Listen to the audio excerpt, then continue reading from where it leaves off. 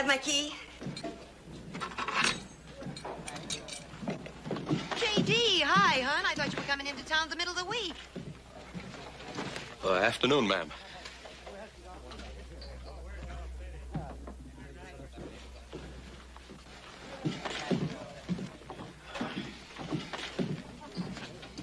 Well, what do you think? I think we need to have a beer. No, no, no. I mean, I mean about her. About who? What are you talking about? My girl. You mean that was your girl? Mm-hmm.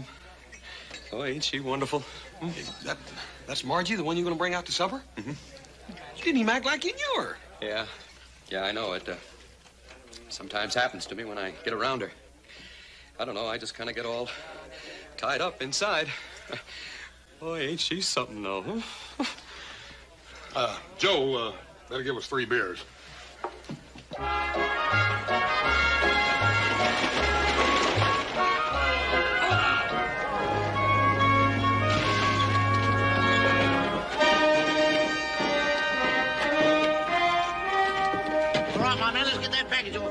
Keep the Duke waiting, you know.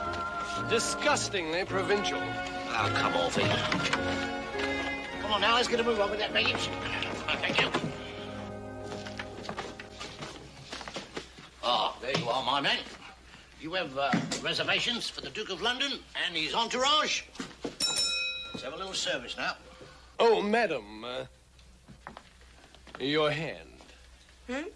I kiss the hand of the most beautiful uh, lady I've seen since I've been in this beastly country.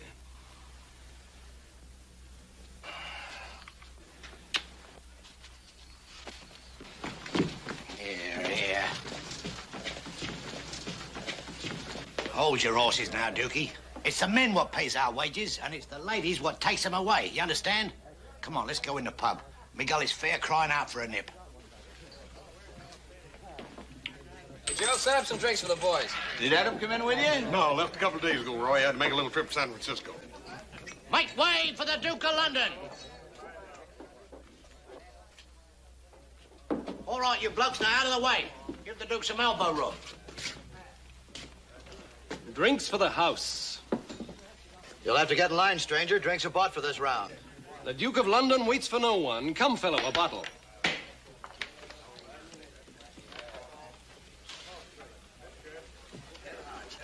You. A drink on the Duke of London. I'm sorry, mister, but uh, little Joe already bought me a drink.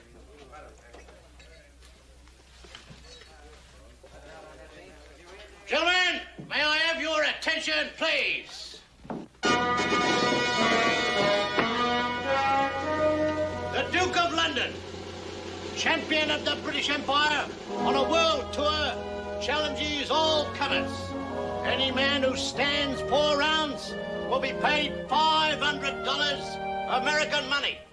Do you dare, Yankees?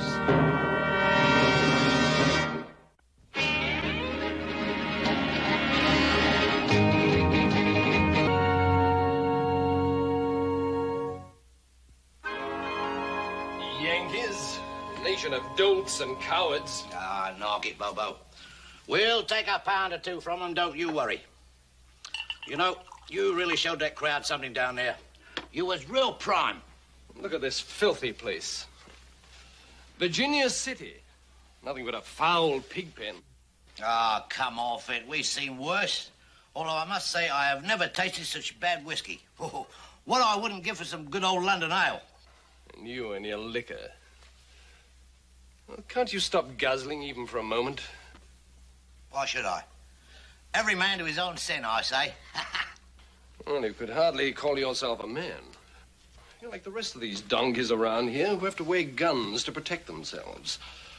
You'll have to be extremely lucky to get a fight in this town. Uh, you just keep on playing the game, Bobo. We'll get our fight.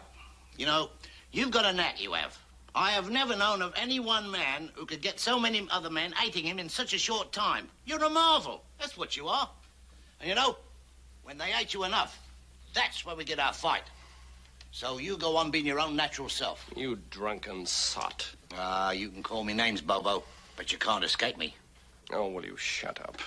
Well, I know you too well. Every time you get like this, it's because of some skirt. it wouldn't be the little barmaid you took a fancy to now, would it?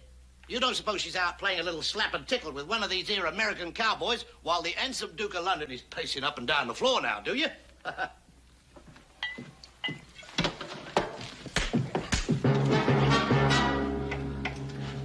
Now, you leave the women to me.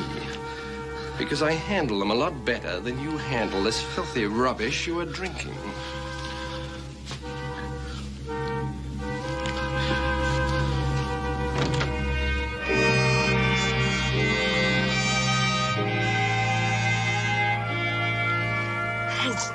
You know, this is this is just great. I mean, it's just wonderful of you, Mr. Cartwright, to, to go to all this trouble, invite me out for supper and everything.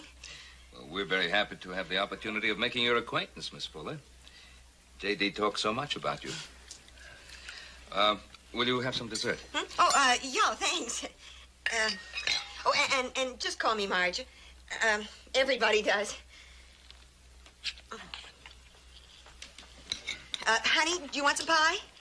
No, thanks, sir. I mean, ma'am. Well, you boys had quite a time in town, didn't you? This uh, prize fighter, uh, what did you say his name was? Uh, the Duke of London, Pa. I ain't never seen a Duke before, but they're all like that feller. I don't ever care nothing about seeing another. I wish you'd have been along with us, Pa. This man makes more enemies just walking into a room than anybody I ever saw in my life. Well, you boys did right to ignore him. Well, you should have seen what he did to me, Mr. Cartwright. He stopped me right in the middle of the lobby and grabbed my hand and kissed it. Well, if I'd have known that, I'd have taken a wallop at him.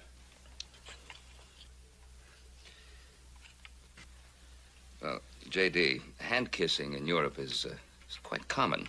Probably just a gesture. Not the way he did it, it wasn't. He looked at me like he owned me or something. Yeah, I should have walloped him.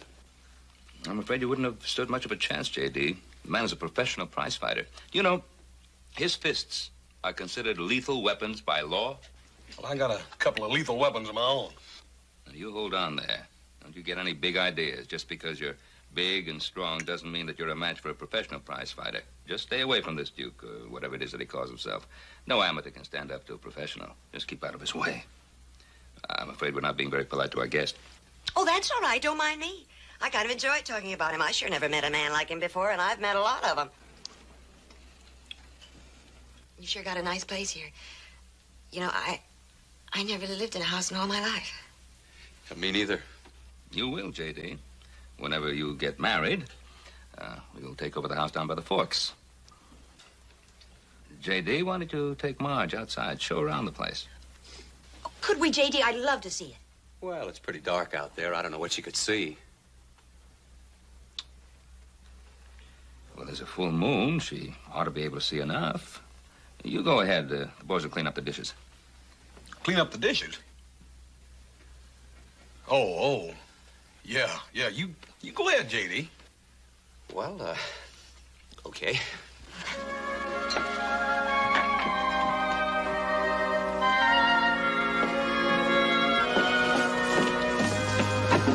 I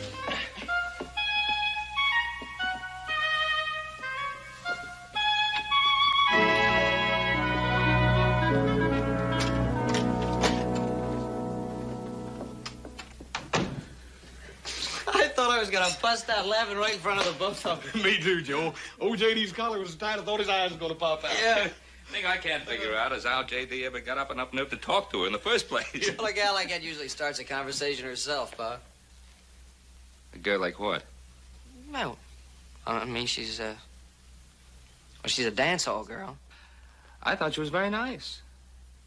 What did you think, Hoss? I, I thought she was very nice. Hey, now, wait a minute. I didn't say I didn't think she was very nice. You, Pa, it, it's, it's just that old J.D. and her just don't seem to go together for some reason or other. I, I don't know. Well, that's right. That's all I meant by it, Pa.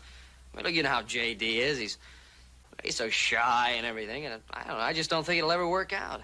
It'll work out. If he loves her. J.D. Huh? Honey, are you afraid of me?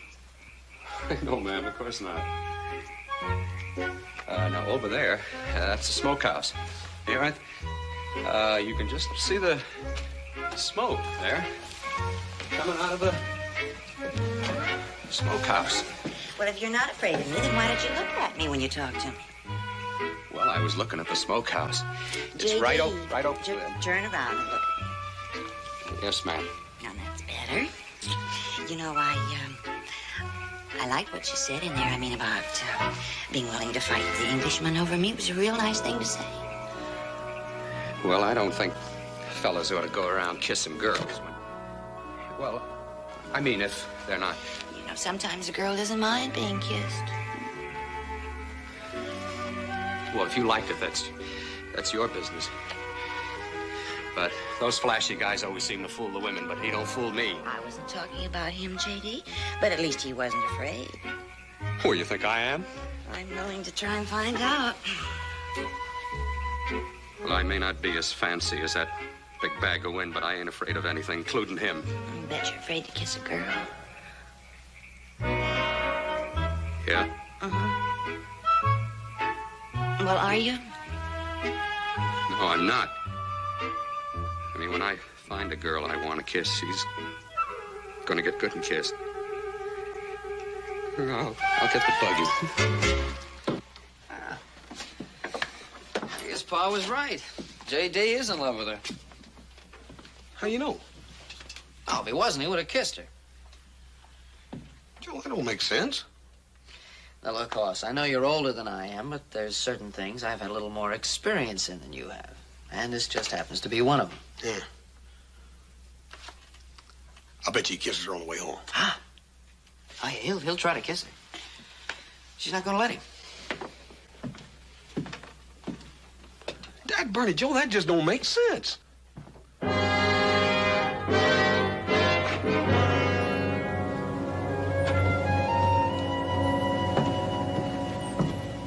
Mr. Duke. One does not address a duke as Mr., now does one. I'm not anxious to address you in any way, shape, or form. I just want to warn you that as a- About what? I am perfectly capable of taking care of myself. Constable. Now, we don't address a sheriff as a constable, now, do we? I just want to point out that as a professional fighter, if you use your fists on anyone, I'm going to jail you for assault with a deadly weapon. Oh, then, in the event that I am attacked, I will not even be allowed to defend myself. Now, you know better than that. Besides, I have a feeling that nobody around here is going to be foolish enough to try a thing like that. So I suggest you just move on your way. Is there anything else before you leave? I think that'll be enough.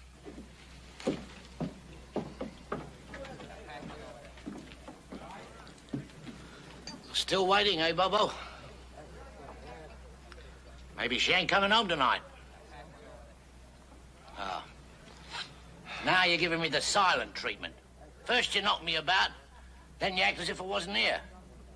Well, I am here, Bobo, and you know I'm here. And when you need me, I'll be working late in me office. In other words, in the pub.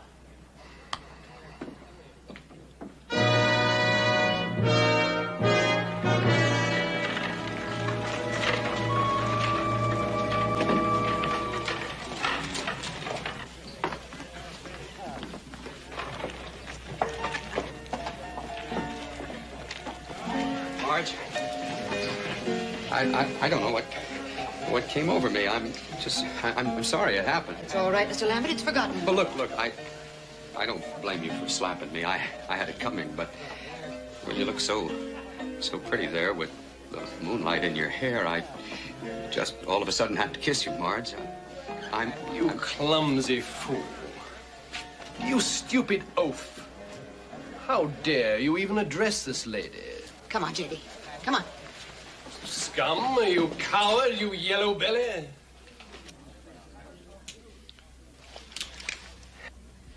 How very brave you are, with a gun pointed at someone who is completely unarmed. Your bravery overwhelms me to such a point that I can no longer tolerate the sight of you.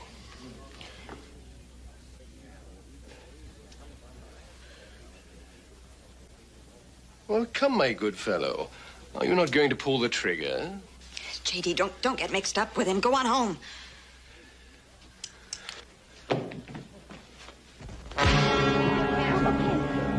Fair fight! He ain't first now, you all saw it. The yank get him first, it's a fair fight.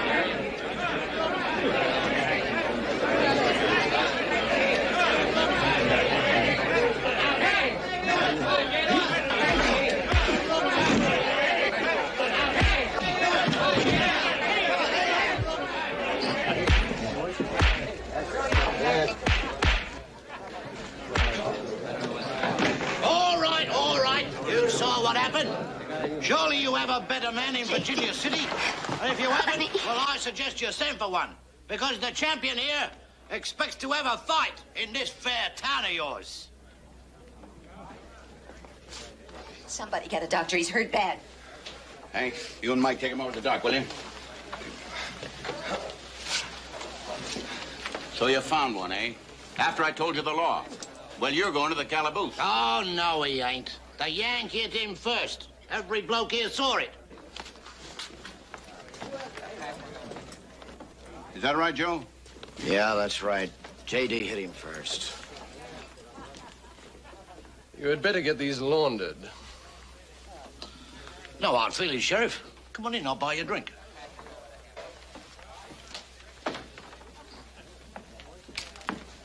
I'm sorry, you couldn't have seen me up against a more worthy opponent. One could hardly call it a fight, could one?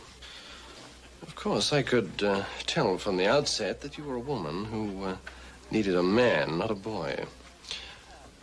Well, now you've found one.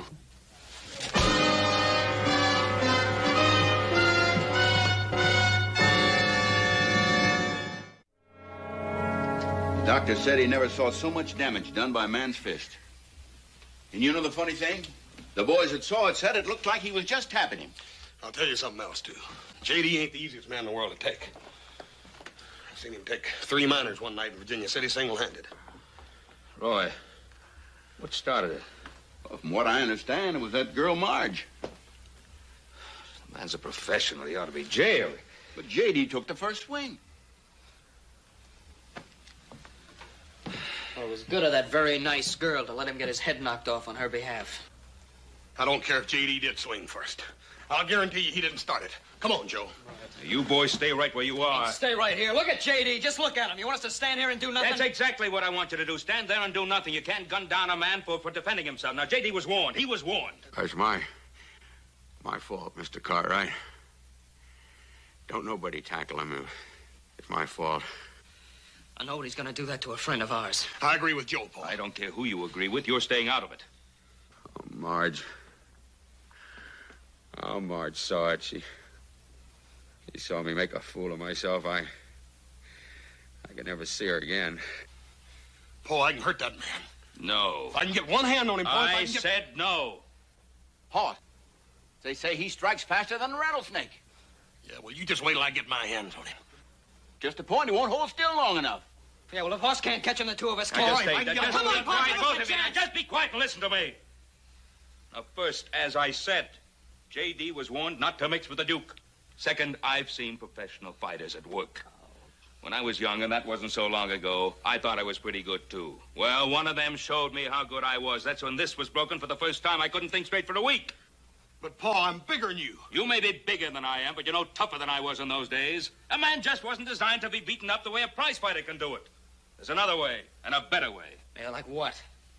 If he's so anxious to have a fight, we'll get him another professional prize fighter to fight with. Paul, there ain't no professional prize fighters around here nowhere. No, but I know where there is one. I'll send a wire to Adam in San Francisco. There's a fighter there, a great fighter, Heenan, the Benicia boy. We'll pay him to get here as fast as he can. Roy? Yeah? If I write out the wire, will you take it into town? I'll take it to San Francisco myself if I have to.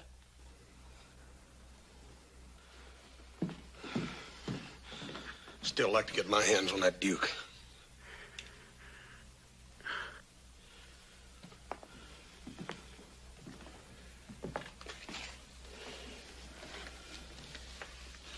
Hey, did you hear that, JD? But I'm gonna get that Benicia boy to take care of the Duke. Yeah, he's a real champ, J.D. He'll take care of that Duke. Marge saw it. Marge. Marge saw him make a fool of me. He ain't hearing nothing we're saying.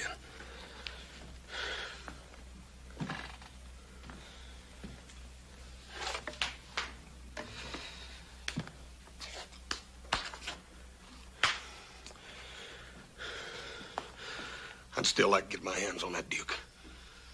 Now, I'm gonna have to do what Pa said. Of course, that don't mean we can't ride into town tomorrow and sort of break the news about the Benicia boy. I'd kind of like to see the look on the Duke's face when we tell him that. Yeah. I'd sort of like to see that Duke fella myself. Hey, wait a minute. I said we're going to break the news to him, not his neck. Agreed?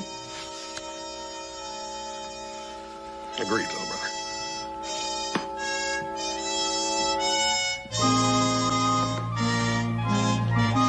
And another thing. Where's your dartboard? My what? Your dartboard. You know, How is he? How's pub JD? ain't a pub unless you've got A little late to be asking, ain't it? Is he all right? Oh, yeah, he's fine. He's got a busted nose, lost a few teeth, otherwise he's feeling just fine. Uh, he, he ain't too pretty. It's gonna be a while before he feels like doing any courting again, too. I know everybody thinks that it's my fault. Would you take a message to him? Would you tell him that I want to see him? Well, I don't think he's going to want to see anybody for a while.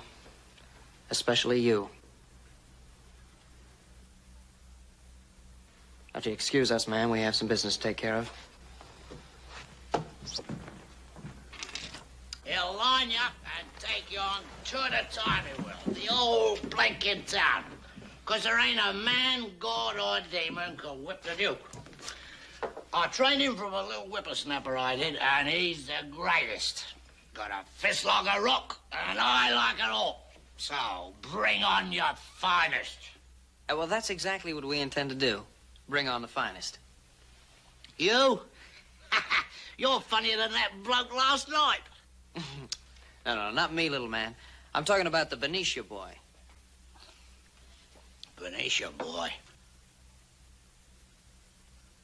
Ah, you're trying to fool old Limey. You think I'm drunk, so you're playing jokes on me. No, this ain't no joke, little man. Well, I can't believe it. Well, you can believe it. Benicia boy, Heenan.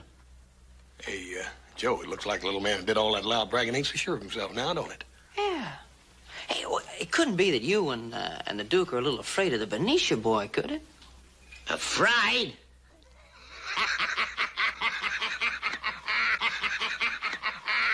oh, that's a rich one. Afraid?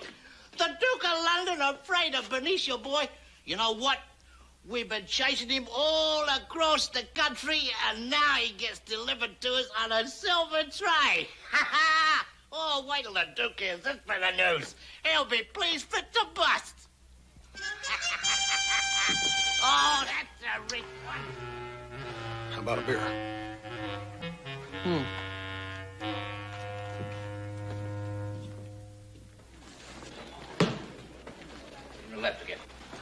Show us your one, two now.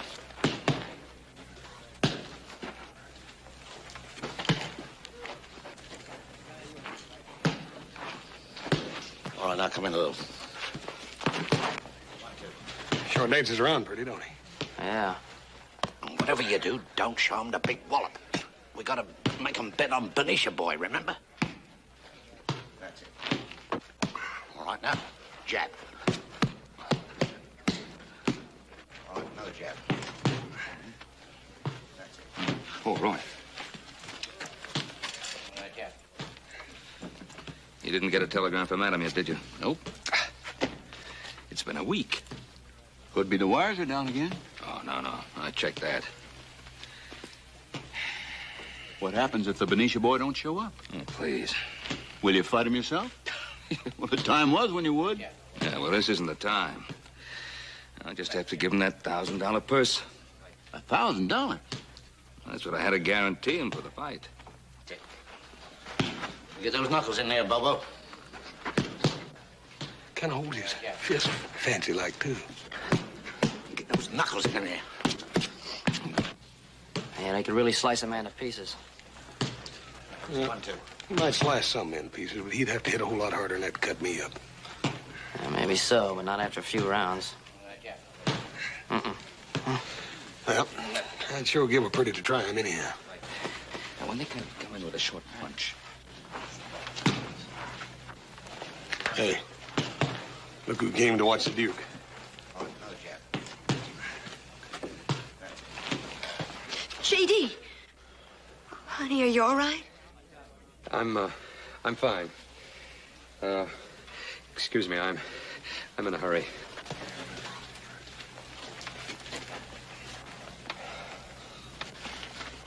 JD, how you doing?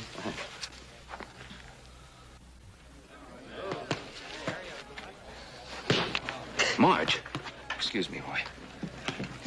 Marge, what's wrong? What's right? All you want to do is reach up for something better. Everybody says no, you stay in your place. Oh, Marge, you know it doesn't matter what people think. Nothing mattered until J.D. Looks like that's over too, doesn't it?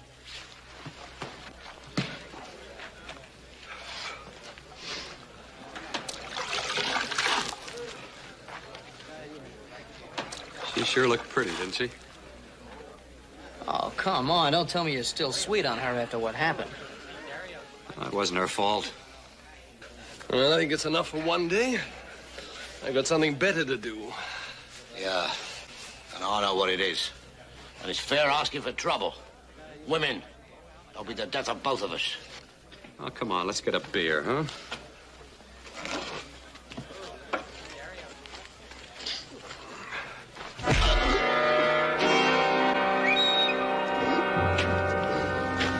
That just plain ordinary me. For two cents, I'd... Come on.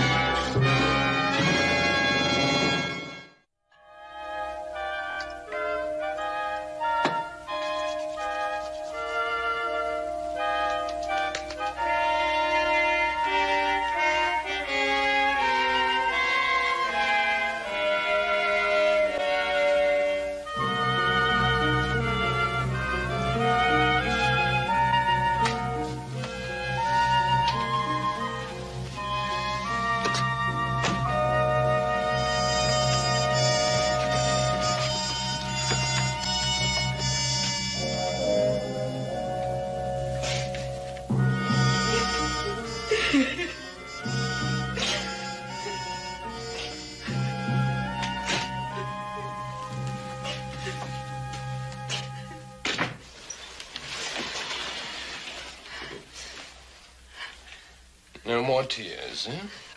What do you want? Oh, there's no need to be coy with me. I saw you watching the workout. You get out of here. Oh, come, my dear. You might fool the majority of these clods around here, but you don't fool me. I know you and your kind. And I know what's bothering you.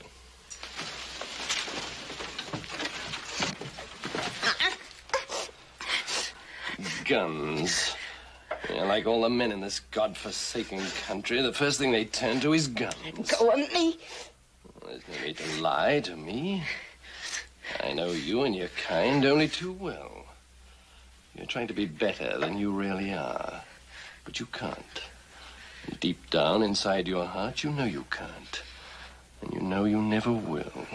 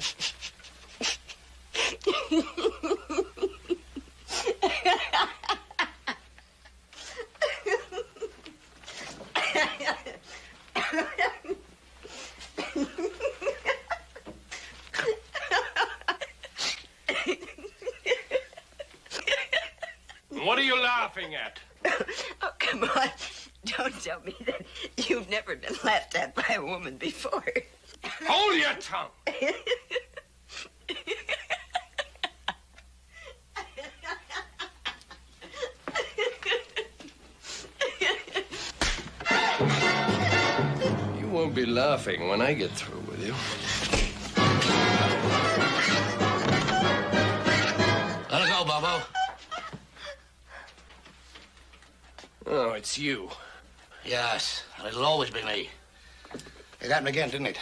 Another one laughed at you. I told you it would happen again.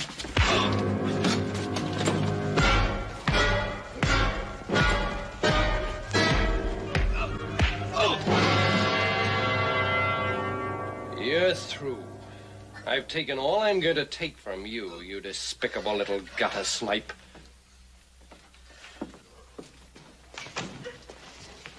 J.D., Marge. Well, what happened? it's Duke. He's beating that poor little man. He's going to kill him. Where are they? They're in my room. He broke into my room. Come on, Joe.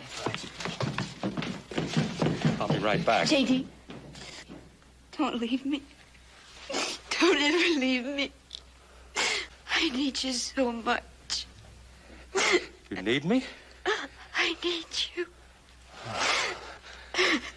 Limey! Limey? Yeah, I'm in You gonna make it, Limey? Oh, take it easy now. Uh, Just sit real easy down on the bed. I'll be all right.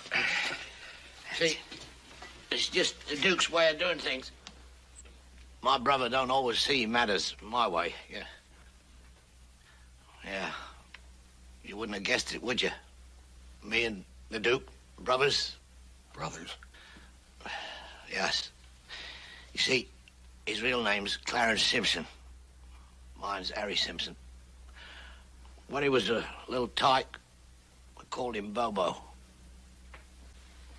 The baby he was. Then they put us in one of them homes. But I got us out of there. Oh, you've no idea how I worked and slaved to put that boy through school. See, I, I wanted to make a gentleman out of him. I... Here, Limey, you just take it easy. You might be hurt serious and don't even know it. Now, what he said hurts much more than what he done. He can do without me, he says. Just don't seem possible that a man could treat his own brother like that. He's always been the same. I taught him, you know. He was going to the dogs, he was. I made him a boxer. You see, that that's how I earned the money to pay for his schooling.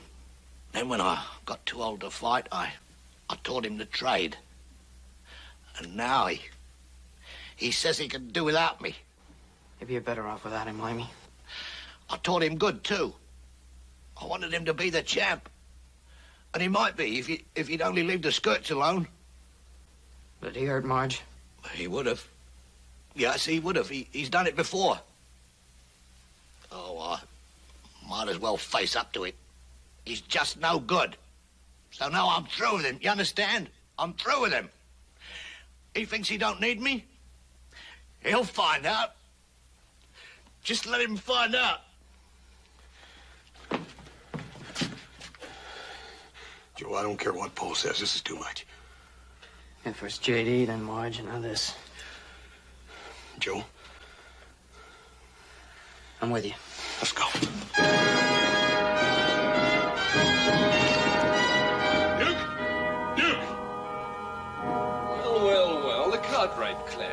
Clan. Have you got the Benicia boy with you? No. But we brought a message. Then deliver it and be on your way. All right.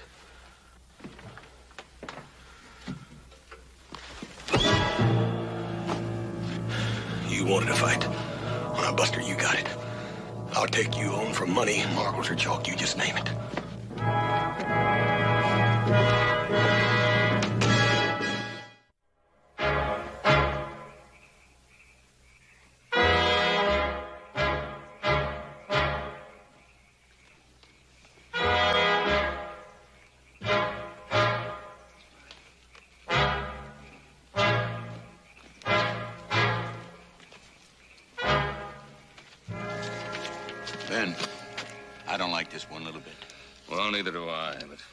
Hoss challenged him, so the only thing we can do now is to see that everything is conducted properly. You think Hoss can handle him? In a match like this, I only hope he doesn't get hurt badly. Yeah, you better study these London prize ring rules. Yeah, how you feeling, Hoss? I feel great, little brother. Good. Just lean back, take it easy. That's it. Twenty-five on the horse against a hundred on the Duke. Real. Gary. No, I said I was through with him, and I mean it. I ain't going near his corner, so help me.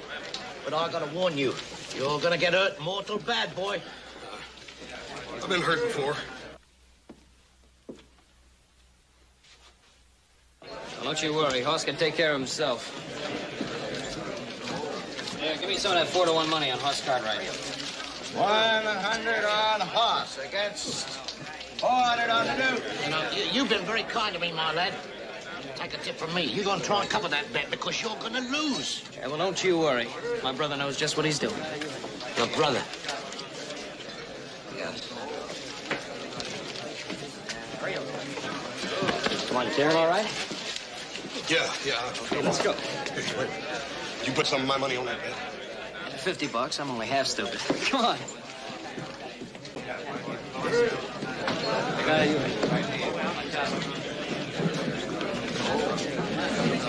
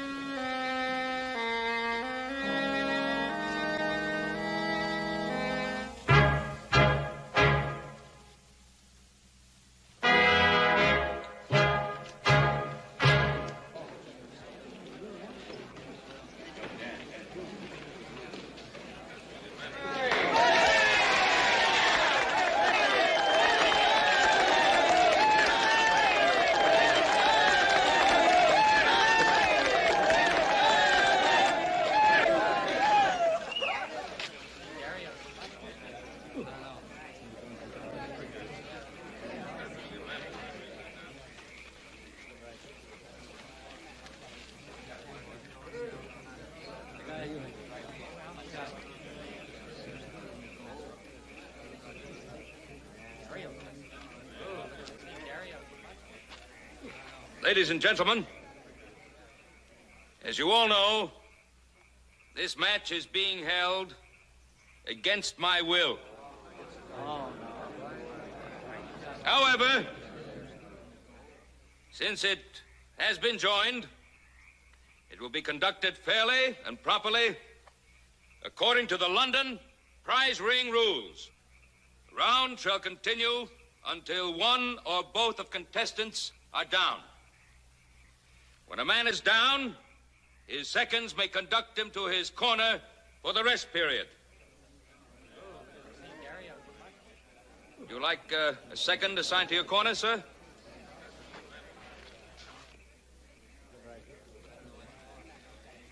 At the end of 30 seconds, the referee will call time. And the contestants must rise and come to the mark. Now, either man failing to toe the mark at the end of eight seconds after the referee calls time shall be deemed defeated. The judgment of the referee will be final and absolute. Now, ladies and gentlemen, you all know the referee, your sheriff, Roy Coffee.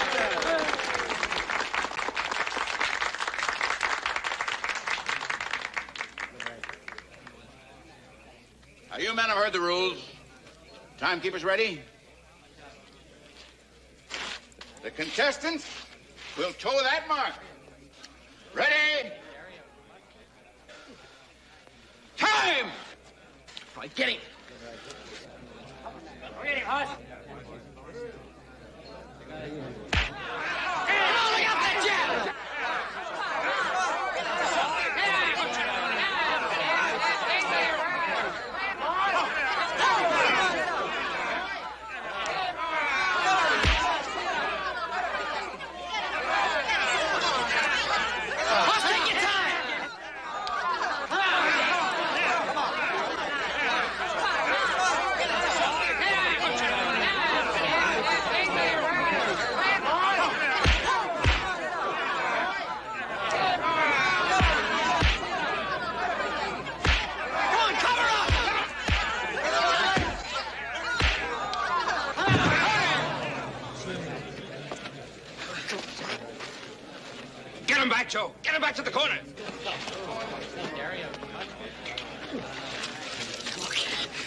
Stay away from that jag. You gotta get inside him. Hit him in the stomach. You're gonna hurt him.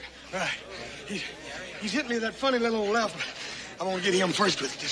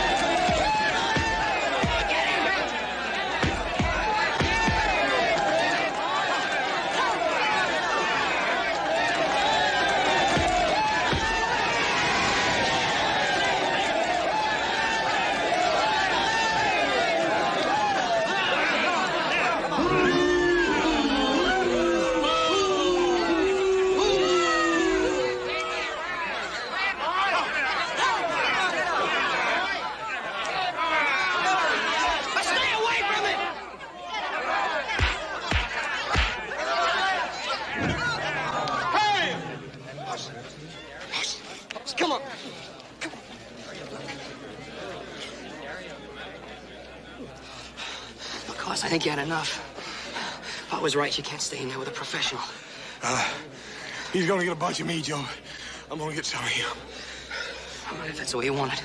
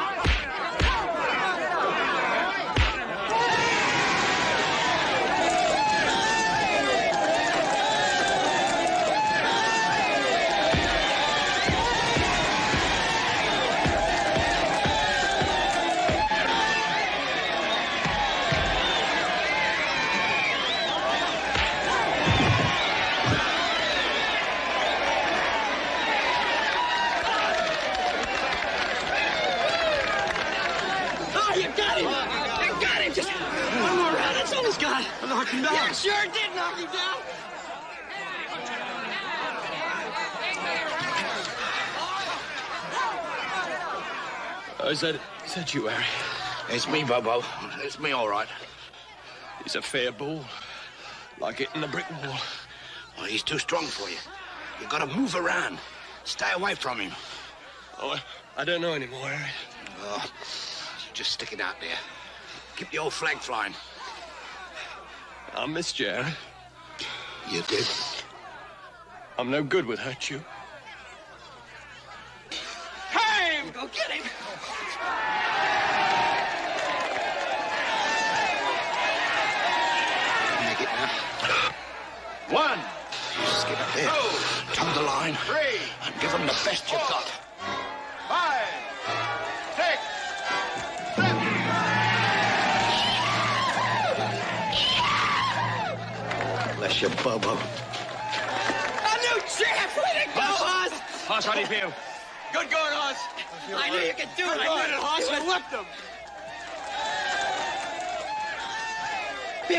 You beat the champ. What are you driving at, son? He was, he was all alone, Oh, what a fight. Wasn't that a Give it a roll, boys. Boys, let's get out of here. Come on, boys. Come on, Hoss. Let's go.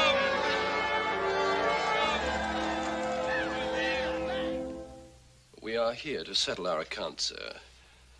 Harry, will you please pay the gentleman? Yes. Here you are, Governor. One thousand American dollars. Well, thank you, gentlemen. Pa, uh, if you're gonna show him the, uh, you know, Oh, yes. Well, I, I almost forgot. I received a uh, telegram from my son in San Francisco. says, uh, Benicia Boy will not fight you in Virginia City.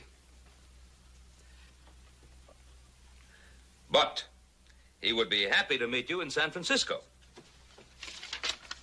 You hear that, Bobo? We got the big one. God, blimey. Mr. Cartwright? Oh, Mr. Cartwright, I, I was just showing my... Oh, uh, Pardon me. That's all right, J.D. Go ahead. What were you going to say? Oh, well, I was just going to say that Marge uh, loves the house. It's wonderful, Mr. Cartwright. I will not ask you to shake hands, but uh, I would like you both to know how really sorry I am. Oh, that's, uh, that's all right.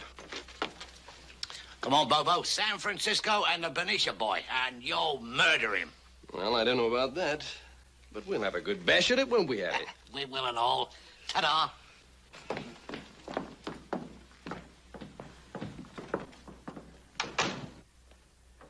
You know, when your little ones come along, I hope they're a little smarter than, uh, than those two.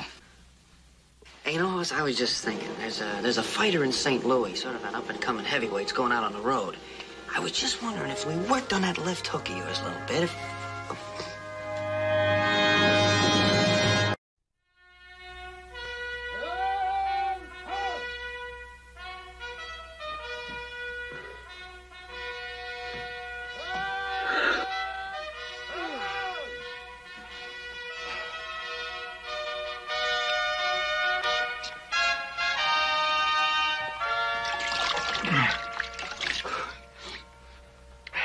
Throw me that towel, will you?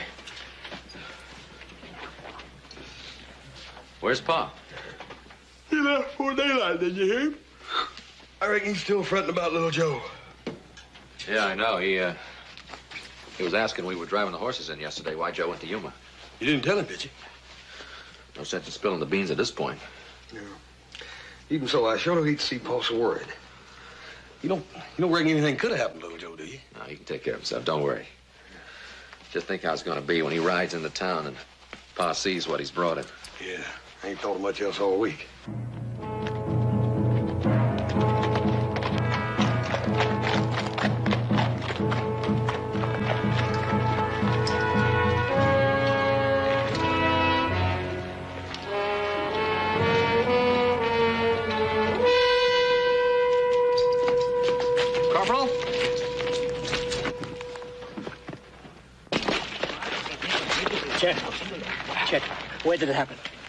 Two days south of here, sir.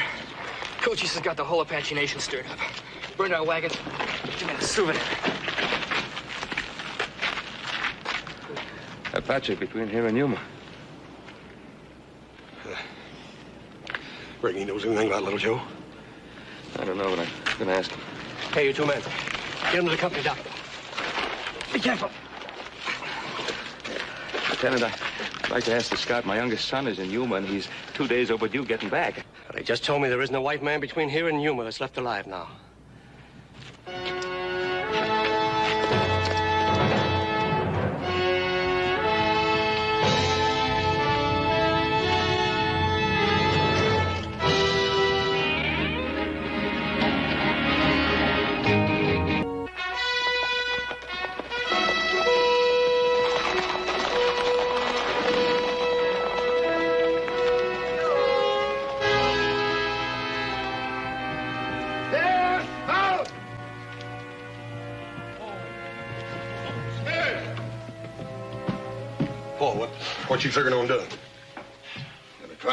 The army out a patrol to look for little Joe. You're planning on going with them? Yes, I am planning on going with him. In that case, so are we. You two will stay right here and keep an eye on those horses we bought. It's quite enough that one of my sons wouldn't do as he was told. Pa, Adam and me been talking it over, and we think there's something you ought to know. I've raised a pack of stubborn, mule-headed, stump-brained. Ah. I told him once, I told him ten times. Wait here at Tyson Wells, I said. Wait here, I said. But Pa. no, no, he's got to run off somewhere. Can't stay put. Does my word mean anything around here anymore? What? Pa, me and Adam want to tell you something if you'll calm down. I am calm. You're shouting. I'm not shouting. What is it you want to tell me? We want to tell you why Joe went to Yuma. Well, it's about time somebody started telling me something around here. Pa, it was a kind of a secret between Adam and me and Joe, and Now, will you two make sense? we're, we're trying to, Pa. Joe went to Yuma to buy a horse. A horse! Jumping Jehoshaphat. Haven't we bought enough Arizona horses in the last week to keep the Ponderosa overrun with horses for the next ten years? Pa, this wasn't just any horse. It was a, it was a gift for you.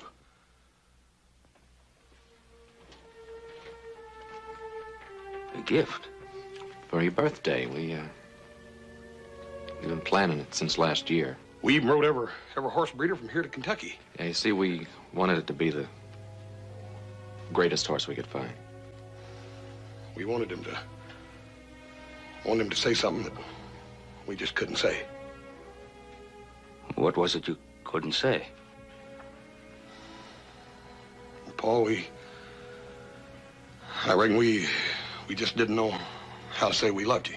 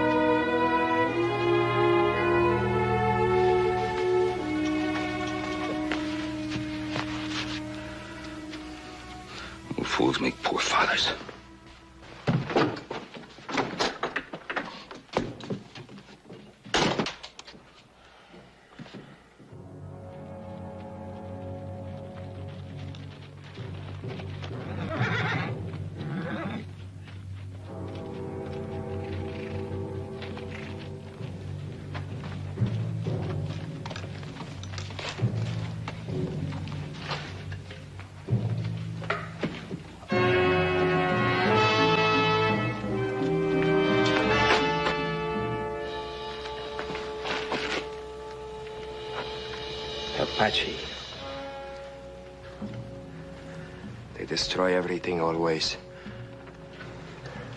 Did you know these people? See.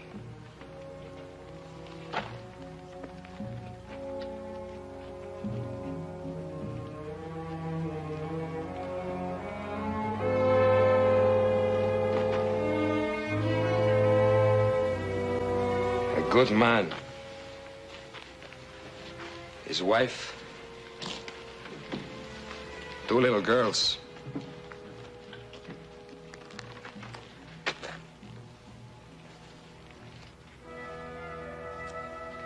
A good place here.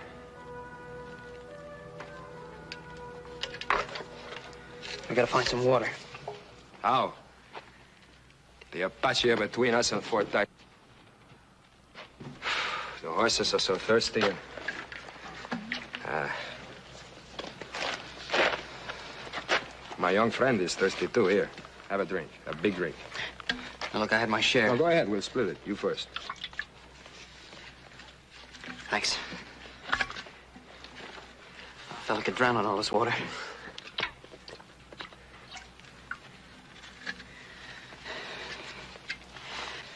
Um, maybe we can ride around the Apache. There's no riding around him. Cochise and his men are everywhere. They will not stop until the army stops them. Gonna get pretty thirsty waiting for that. Get even thirstier if we try to go back. You're pretty sorry you left Colonel Green, huh? No. Wherever the big white one is, that's where I belong.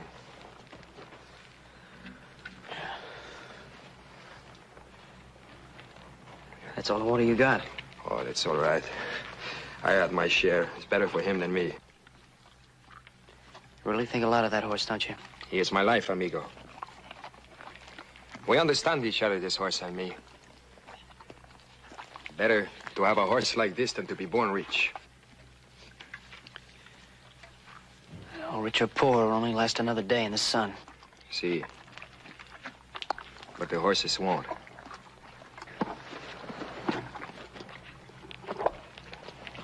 Amigo.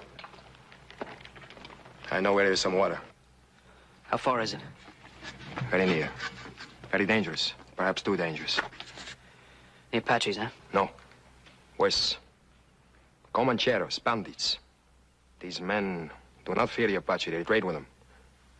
They have a camp in those mountains over there. Sound like real nice playmates. How do you happen to know where the camp is? Because I was once one of them. You were a Comanchero? Some call it that. Some say I was a bandito. But whatever you call it, whenever they catch one, they put a rope around his neck, see? I was caught. It was Colonel Green who cut me down, gave me a job. I've not been back to that camp in the hills since. Well, what chance do you think we have with them? Does the kangaroo mouse have a chance with a rattlesnake? Well, well perhaps a little one. um, our rattlesnake is a man called Sam Wolf. You know that name? Sure, I've heard the name Sam Wolf, but I, I thought it was a legend, not a real man. He is a king here. Cruel, cunning, deadly as a desert. Even Cochise fears him. I wish there was some other way. Well, there's one other way. What one is that, amigo? Could ask the Apache for some water.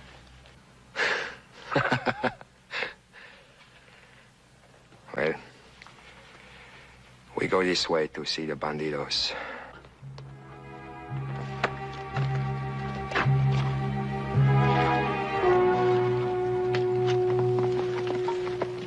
The Indians are still raiding some isolated ranches and settlements. If they decide to raid Tyson Wells, I'll need every soldier I have here. I'm sorry, but my hands are tied. I appreciate your position, Lieutenant. Good luck. And as soon as I can, I'll put my troops at your disposal. Thank you, Lieutenant.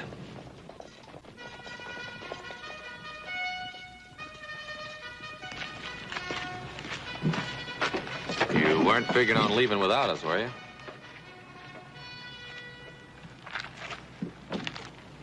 I thought I told you two to stay with the horses. You hear him tell us that? I don't recall hearing nothing like that. Looks like you're gonna have some company whether you want it or not. If all three of us ride out of here today, it's likely that none of us will ever get back. Our place is with you, no matter what happens. Pa, you, you can't ride out here without us. Don't you understand what I'm trying to tell you? Yes, sir, we understand. But we also understand that little Joe's in trouble. He might even be dead. I, I don't know. But I do know one thing. Whatever's happened to little Joe's happened to all of us. And we're still a family. Yeah. Yeah, we're still a family. Let's go.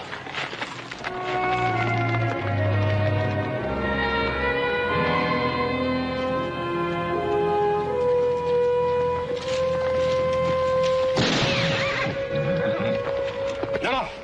Do not act surprised. They've been watching us for half an hour. Pretend we're expected. Yeah, that's a little tough to do when somebody's shooting at you. We're safe for a while. They will not harm us, at least not until they take what they can get from us. Who? Have your rifle. Delante.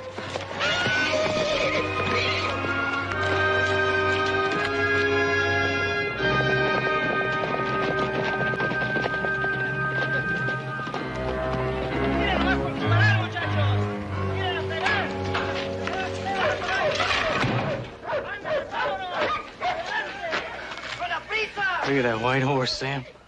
Yeah, I see it. Sam, I gotta have that horse. Prettiest animal I ever saw in my whole life. I've seen it before. It's Colonel Green's horse. And if I'm not mistaken, that's Emiliano there with it. Emiliano. Put that thing away, boy. Emiliano was a good man. Might be again with a little persuading.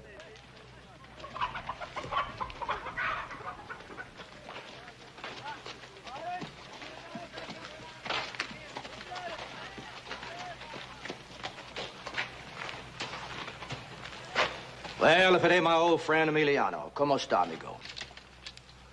This is my friend, Senor Joe Cartwright of Nevada. I'm Sam Wolf.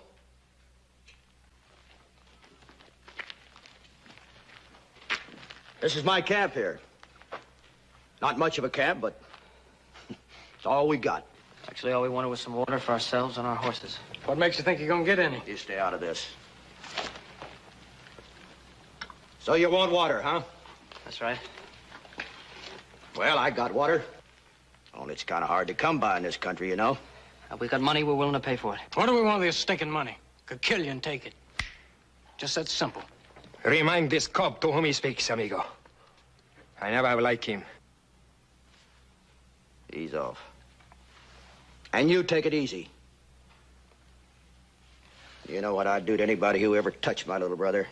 If you want him to stay on touch, tell him to keep his mouth shut. Well, you sure ain't changed none, have you, Emiliano? I thought Colonel Green would have beaten the backbone right out of you by now. Takes a great deal to change a man, senor. I am thirsty. My horses are thirsty. My friend is thirsty. Bring me some water.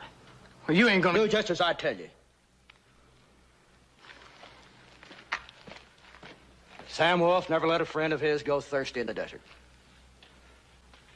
Only there's just one thing, Mr. Cartwright. This here camp's gone out of the way, you know.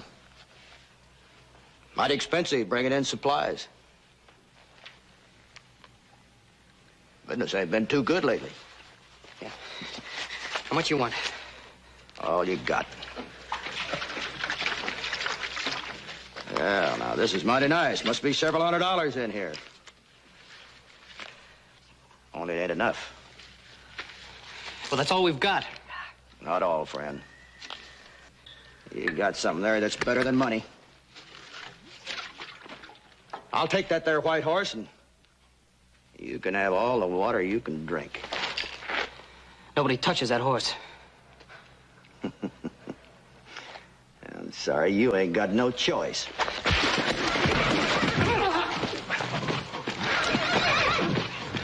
Got him, Sam. I got him. Get off that horse, kid. No, I seen him first. I said get away. He's my horse, and don't you forget it. Oh, oh there. Oh.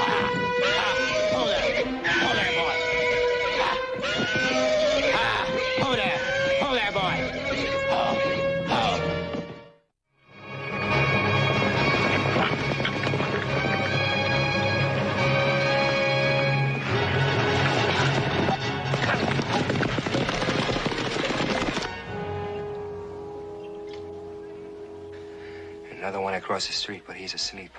I have observed him. How tough it'd be to get the one outside the door. Well, it would be difficult. But our friends were very careless. And I'm kind of glad you're on my side, Emiliano. No, it is I, unfortunate amigo. Someone comes. Get back to bed.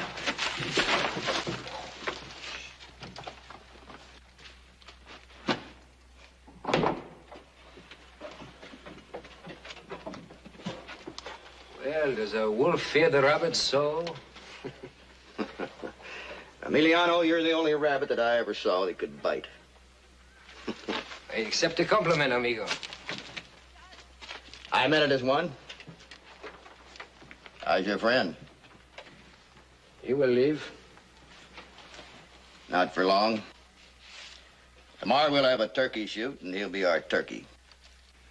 We will make excellent targets, amigo. I didn't mean you, Emiliano. I'm giving you a chance to live. You're a good man. I always liked you. I want you to come back and join up with us, Emiliano. I'll split with you, same as before. What of this one? I'll give you the first shot. If you're a friend of his, be over with quick. And the white horse? Uh-uh. That one's mine. This horse means much to me, amigo. Much as your life. Perhaps.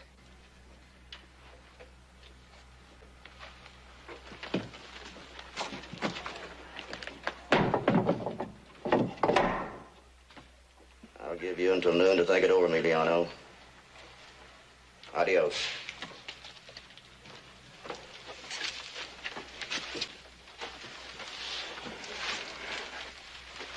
He's a nice fellow. Turkey shoot, huh? This is his favorite sport. They let a turkey run across the desert and shoot at him with rifles. Has a turkey ever get away? Hmm. It has never been known to happen, amigo. I'll give you a run for your money. Me, muchacho. You got the first shot.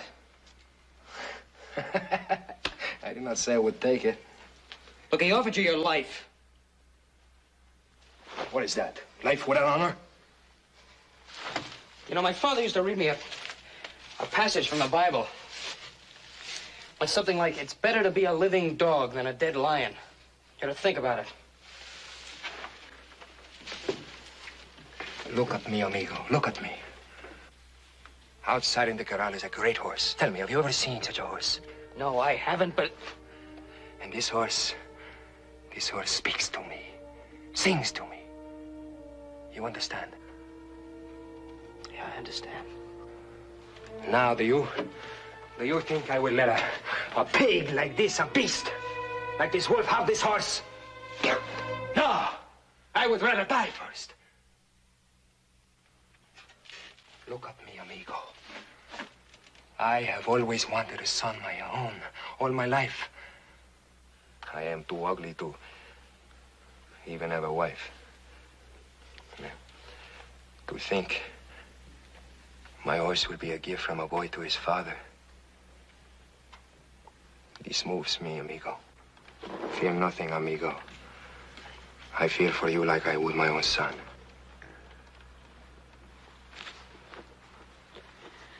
Let's see about getting out of here then.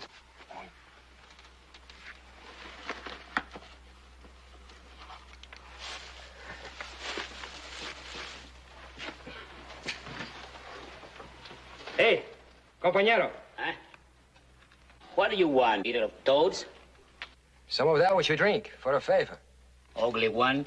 Who are you to ask a favor of me? Uh, I have money here in my hand. Let me see your money. First, your bottle. Come on, give me the bottle. no. I know. I know, old brother of toads. You want to escape. You want to? Go ahead. Try it. I'll kill you.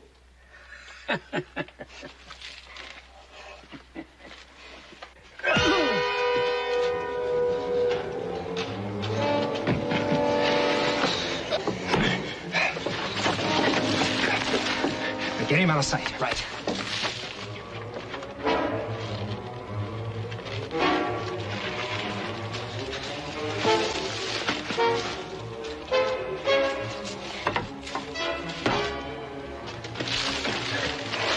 Any trouble? No difficulty. The foreman owner will not be needing this. Yeah, where are the horses? This way.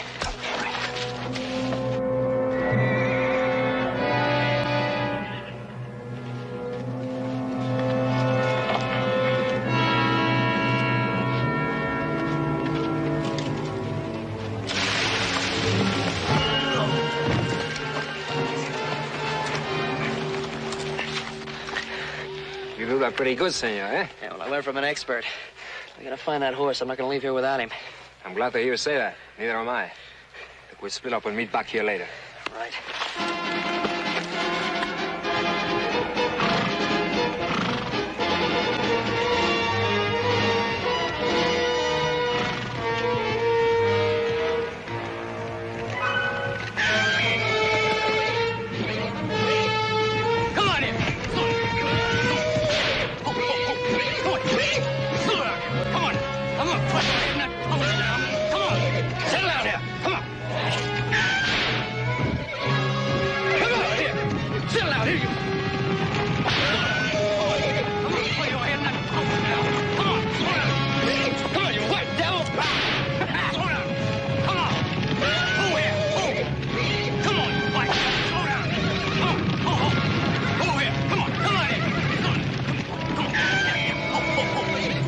Here, you.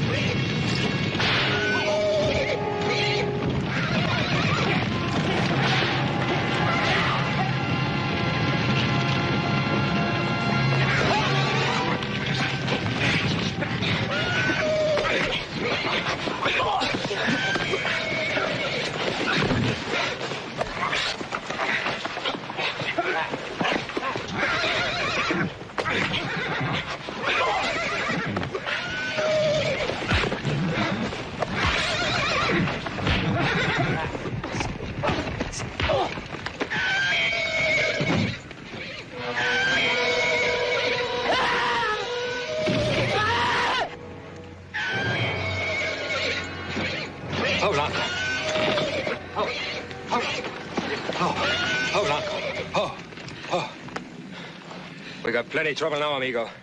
Creo que le pegué al caballo. Sí, así parece. You take the big white one.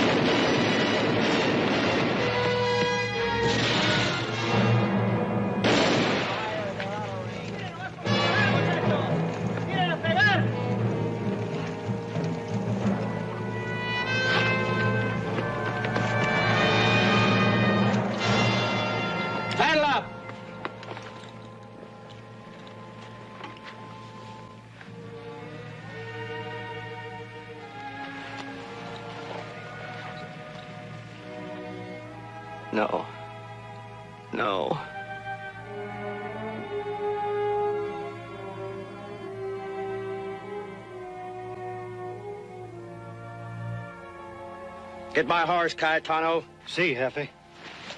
Take him in the house.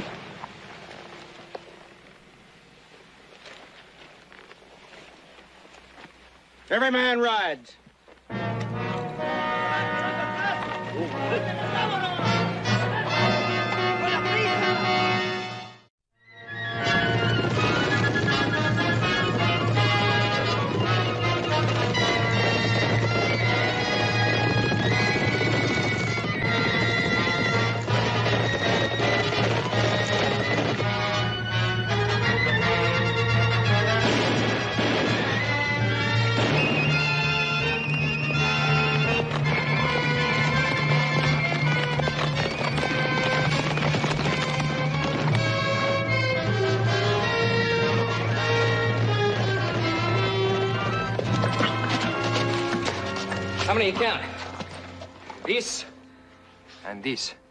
Yeah, I count the same. The horses are tired. I think we should fire some shots, have them scatter. Then we ride on. Right.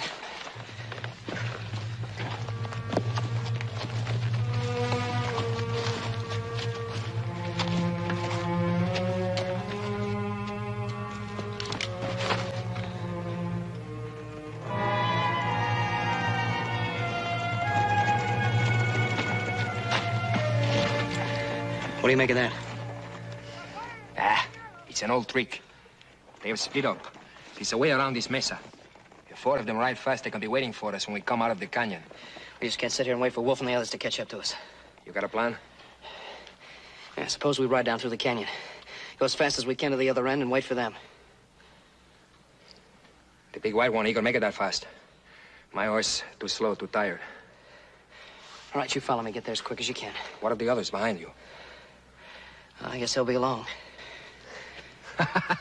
That's what I like about you, amigo. You do not worry about tomorrow until tomorrow gets here. Let's just hope it gets here.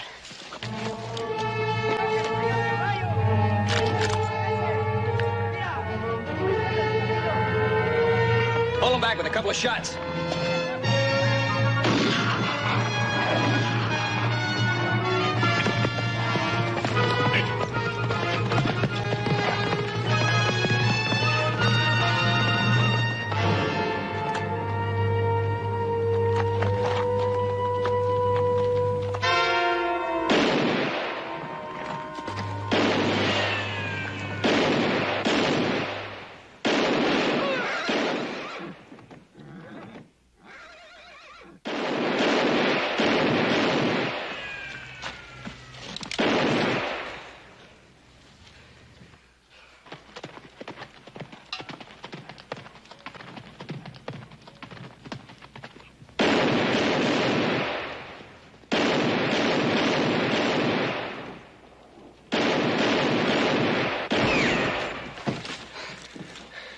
Good general, amigo.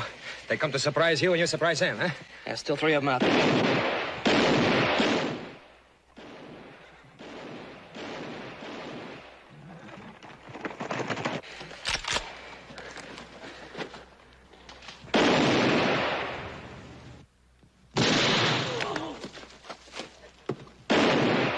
That evens the odds a little, eh? Thanks. Por nada. His name was Raphael. I always planned to kill him someday anyway.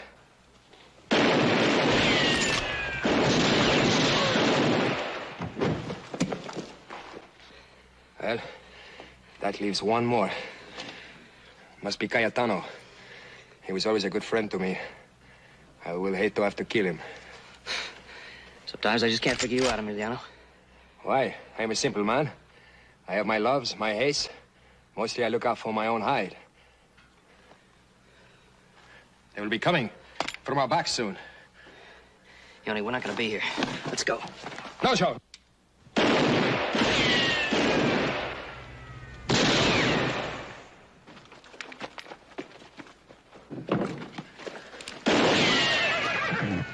Ah, that Cayetano is the best shot of them all. Easy, easy. Rest, amigo. Rest. We'll be riding out soon. Hey, you know, when we get back home, first colt from that big white one's gonna be yours. Oh, no, amigo. That, that, that is too much. No, I insist. You cannot do that. This horse belongs to your father. He will not like it. No, he's not gonna mind. That's a promise. You're gonna get the first colt.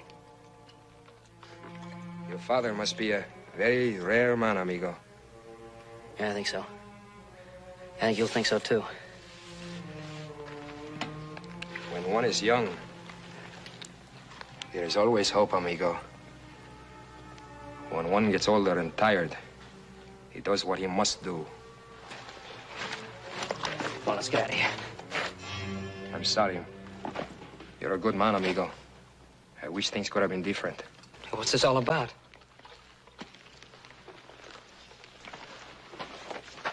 Get on the big white one, amigo, and ride. There's a chance.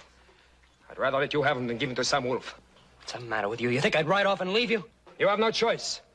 Sam Wolf did not offer you a job. A job? We killed his brother. You know you haven't got a chance back there. Yes, I do. I will become a bandito again. It is a good life, amigo. You take care of this horse, amigo, or I will come for you myself. The Ponderosa is not that far away. Emiliano. No, him! Or I'll kill you now! It'll make me stand big in the eyes of Sam Wolf. You take your choice, amigo.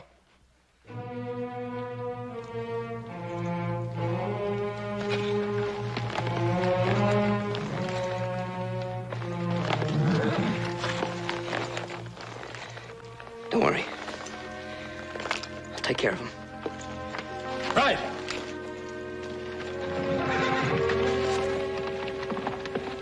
Adios, white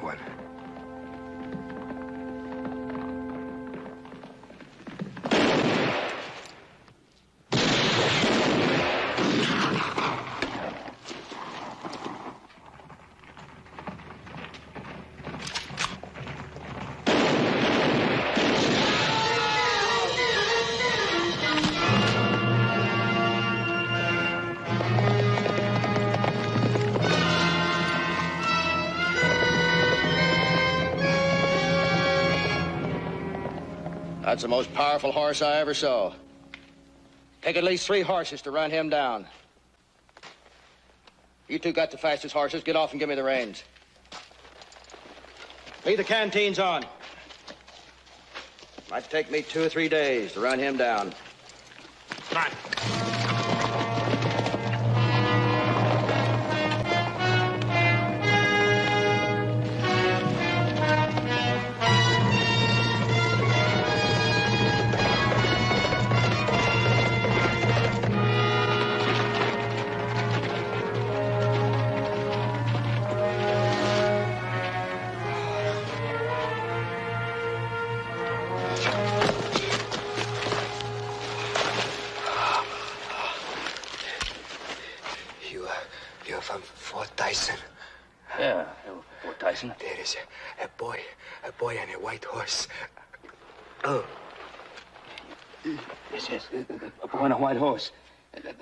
My, son. you're the father, the brother. I should have known. You're a close family. You saw my son? See, see, he, he ride to the desert. They chase him. If you hurry, What, what are you trying to say? there was no other way. My horse was tired. But alone and the big white one, there was a chance. You did this for little Joe? See, see, and the big white one. He is a fine horse, amigo. Your son, he tell me of the Ponderosa. The big horse. He will be happy there. Tell, tell your son.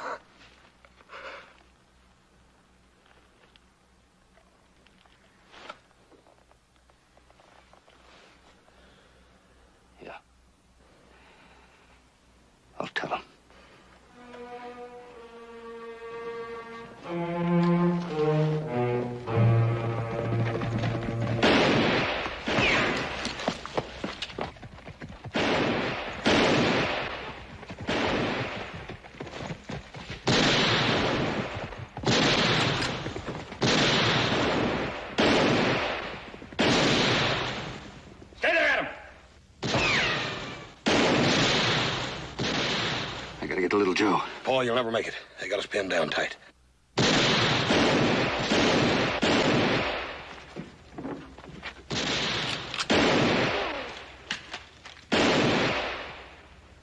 About half tired of this. Yeah, it's not getting us any closer to little Joe either. Yeah. Listen, Adam. Why don't you cover me and I'll Now get you're back. too big a target.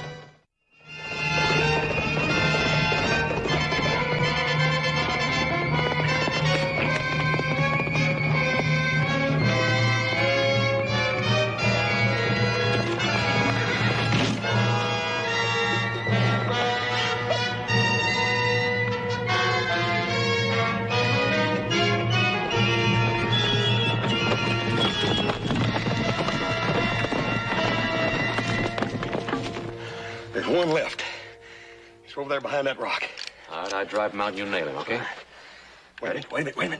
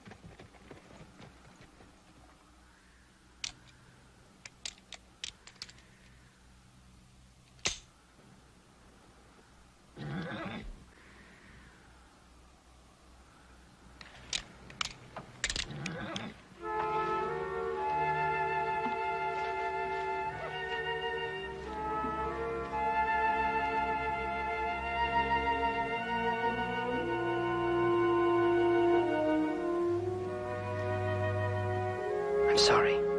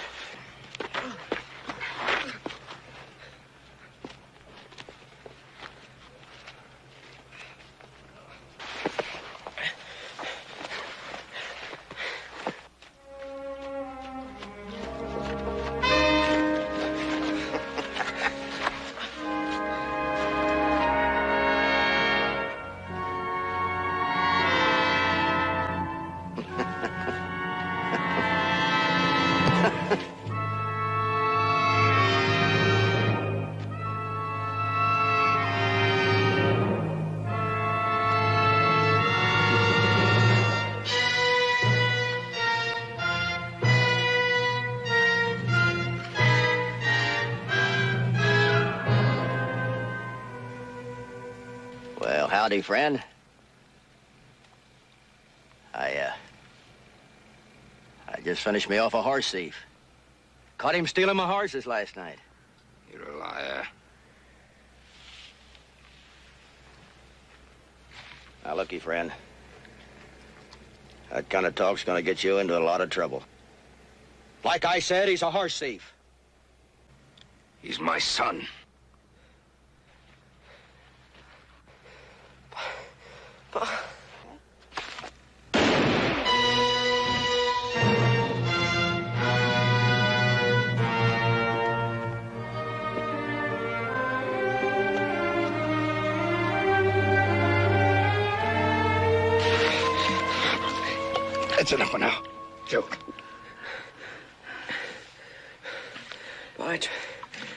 Tried to get through.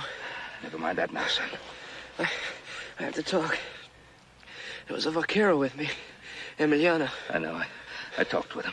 Well, then he's alive then. No, I, he wanted you and the horse to get through.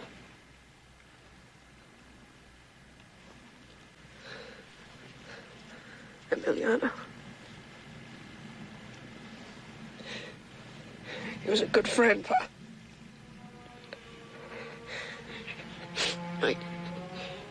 That horse. It was such a beautiful horse, Pa. Ran his heart out for me. I know, son. So we, we wanted to, we wanted to give me that horse. I tried not to lose him. So I want to give him to you as a gift. I have my gift, son.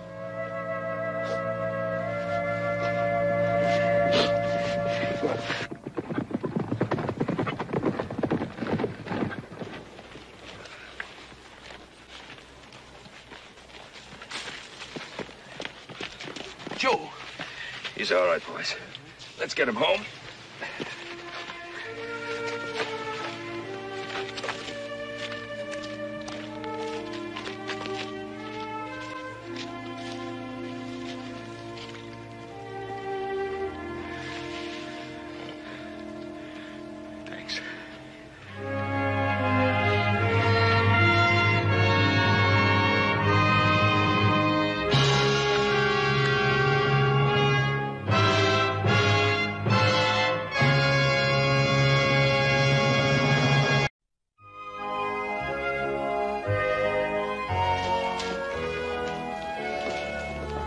Sounds like horse. On the wagon? You left on a horse. You know, my brother, he can leave on a horse and come home on a boat. Yeah, it's him, all right. He's got company with him. Lady company. Well, someone we know? Uh, there's a, a fellow with him and a. And, uh, what? Joe! Pa, come on, let me in! Yeah, yeah, yeah! It's me! Hey, meet some friends of mine. This is Daniel Pettibone and his wife, Robin. Oh, I, I, I, I don't believe I've heard the Hoss mention the name Daniel Pettibone before. I, I just met him today myself, Pa. They found him stranded up by Jackson Ridge. Oh, well, Jackson's Ridge is a far place from anywhere. yeah, well, we were, we were trying to reach Virginia City. And, uh, and we got up there and there was no road or anything, so, uh, Oh, well, you, you must be very tired. Uh, please, uh, Yeah, wait a minute, Pa. Before you do anything else, something I want to show you. Come here, Daniel. Show them. Come on.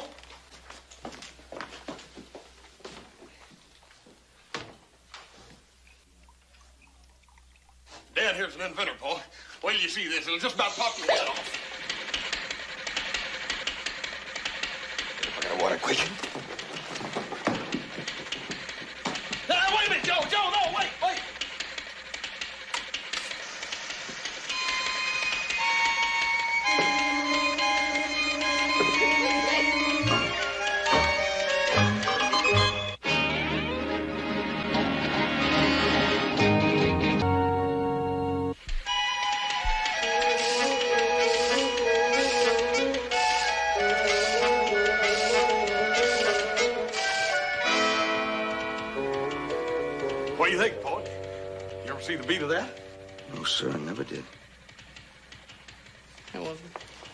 Makes it go?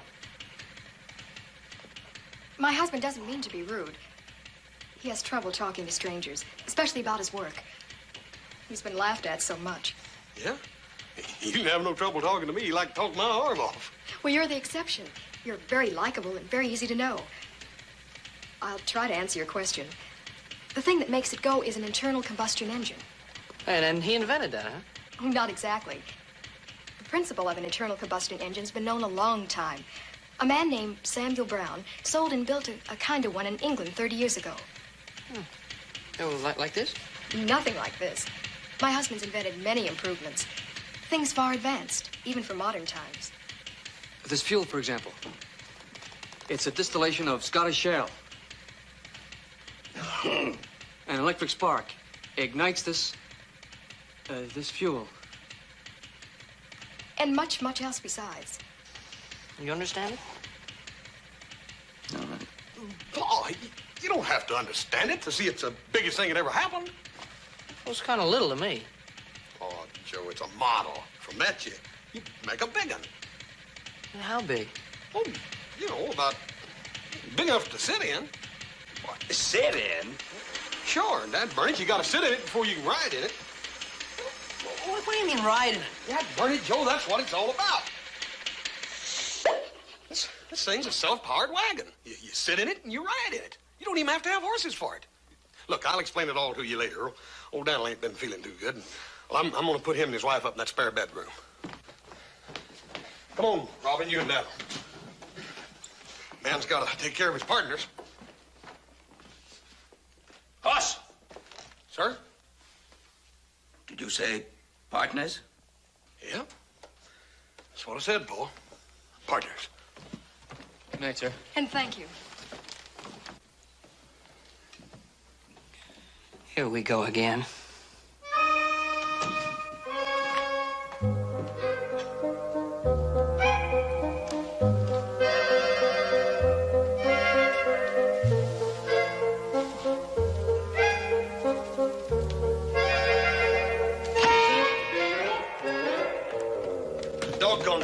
Get something straight once and for.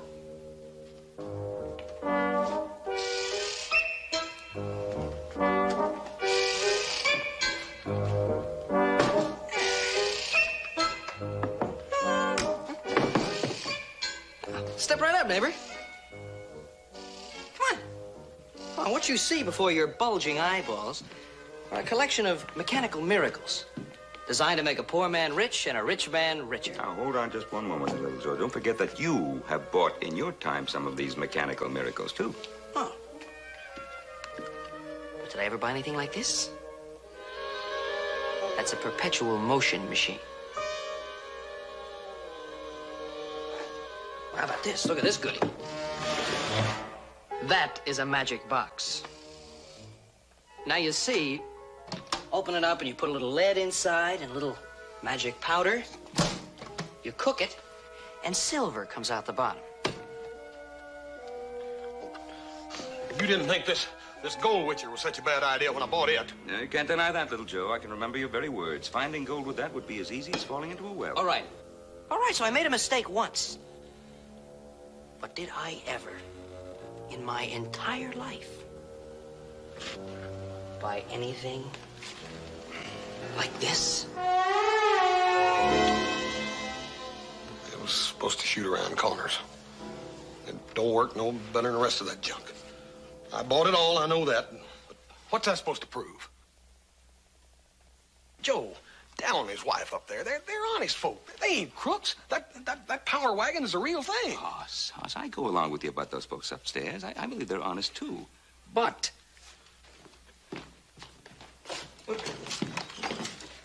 is this thing practical? Practical? Boy, anything you ride in, practical, ain't it? You build a full-size one and you could go almost any place. Oh, come on. All right, you build a full-size one of those, and I'll find myself any tired, worn-out old nag, and I'll beat you to Virginia City by a day and a half. Maybe you could now, but, but well, you, you take and you, you get some good roads and... Roads? Can you rope a steer with that thing? No. Can you hitch six of these together and, and haul freight? No, I reckon you Come on, what are you gonna do with it? Oh, dadgummit, I'm all mixed up. Now, this afternoon, when I sat up there on the tailgate of old Daniel's wagon, it, it was as clear to me as the nose on my face. And you can't see it now, hmm? Well, yeah, Pa, I can see it, but I can't explain it to you. You, you want facts and figures and everything proved out ahead of time. You, you just can't always prove things out ahead of time. Sometimes you, you got to just have faith and, and you go ahead and do something, and then when you get it done, you point to it and say, now, there, that, that's what I mean. I can't have faith in a silly-looking thing like that. I, I couldn't either. Well, that's up to you. Tell you how much faith I got in it. Go to Virginia City with Daniel. I'm gonna help him get money together. We're gonna build a full-size one. You don't have to do a doggone thing. You don't have to put one drop of sweat in it or one thin dime. I'll put one hundred dollars in it. I'll put $50 in it. If you ain't got no faith in it. Hoss, we have faith in you. And if, if you believe so much in this contraption, well, maybe there is something to it. We'll back you all the way. With money, muscle, or guns?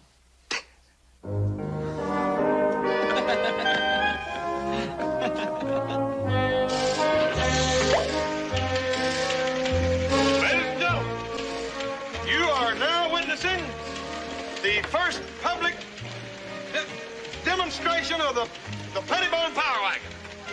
Uh, we are prepared to offer you a share in this. Now, wait, wait, wait, wait. I, I kind of got ahead of myself first, minute. Something else I was supposed to say first. Now, Mr. Pettibone here and me, we're going to construct a prototype here in Virginia City. Later, we will manufacture full-size power wagons for sale. Wait a that comes. Oh yeah. Uh, uh, uh, shares in the Pettibone Power Wagon Company are, are for sale at ten dollars a share. Well,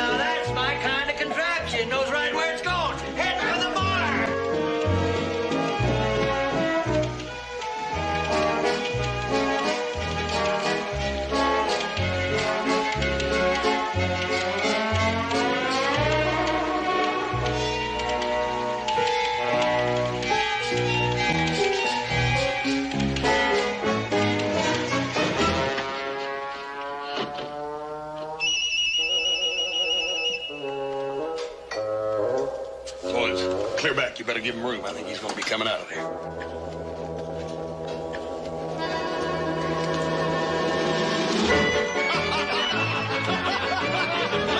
buy four and a half shares of that Pettibone Power Wagon. I've been trying to get rid of him for two days. Hey, for her! Doggone it, Big Red, that's mighty sweet of you, and you're not going to be sorry neither, you hear? Folks, I ain't much at making speeches, but if you'll all step in there to the bar, I'll stand the drinks. Hey! Set up the drinks.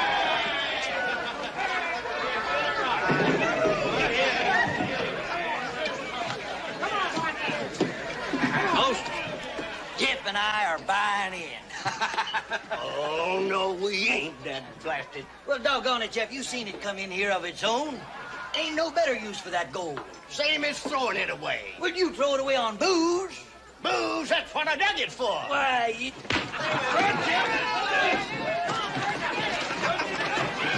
All right, boys, all right, all right. Let's break it up. We're going to... Here, outside you go. I'll stomp a mud hole in you and wait it dry. Yeah, go ahead. Do it. Ready to lose.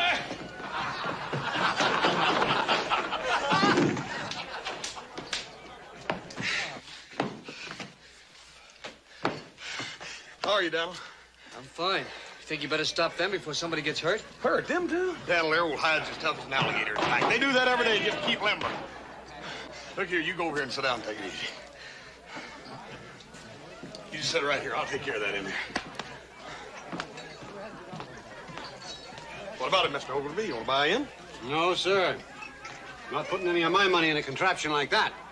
What do you mean, contraption? What's wrong with it? It's a slick trick. Sucker bait. I don't trust that man. The man over there you don't trust happens to be a very good friend of mine, Mr. Ogilvy. You can't scare me, Hoss Cartwright. We've all known you long enough to know you're honest. How long you known him? Long enough to know he's as honest as I am, and a heap smarter. He can do more thinking by Monday noon than you can in a week. If he's so smart, why can't he do his own talking?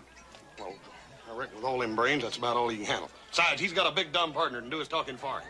Well, if this contraption can do all you claim, why'd you come to Virginia City? You could finance it a lot quicker in San Francisco. I'll tell you why he came to Virginia City. The doctors made him leave San Francisco, that's why. He ain't well. He's got pains here in his chest, and it hurts him worse when somebody's crowding him. Anything else? Just one thing. There's a man who's been selling the good folks of Virginia City merchandise of all kinds for over 15 years. I say any man who invests good money in this infernal machine's a fool. Then, sir, you must name me a fool. For herewith I pledge $1,000 to the Pettibone Power Wagon Company. I'll be sawed in half with a blackberry vine. Well, Mr. Rich. I'm uh, Cyrus K. Throckmorton, my dear. And uh, that is my associate, Mr. Peter Long. Howdy, folks. Never heard of you. Which is not surprising. I only arrived in your fair city yesterday. I am a broker and investment counselor known in the financial centers of New York, London, and Paris. Here to invest funds for Eastern capital. And now, sir, if you would introduce me to this genius who invented this mechanical marvel. Yes, sir. This this here is Daniel Pettibone. Truly a great honor, sir. A man of your capabilities is rare indeed. I'd like also to meet your business manager. Uh, well, uh, they ain't nobody but just me and Daniel here. I sort of figured on learning the business end of it as we went along. An understandable error, sir, but a grievous one. The financial world is a teeming jungle to the uninitiated, uh, strewn with many pitfalls. Let me think. Uh, there is a slight possibility I may be able to extend a guiding hand. By golly. I would deem it a privilege, indeed an honor, to contribute my time and uh, not inconsiderable experience in financial matters to this enterprise as a service to the community. And now, let us have a closer look at this machine that Mr. Ogilvy calls an infernal machine. Beautiful little thing, isn't it? Like I said, we're buying in. like I said, we're buying in. Hey, you old girl.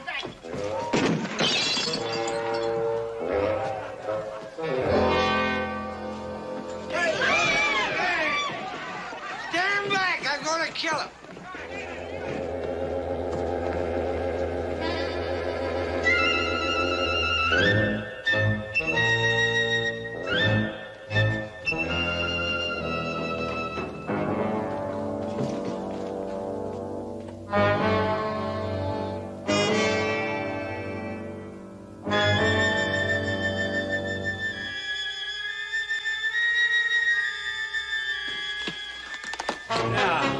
See what we have here.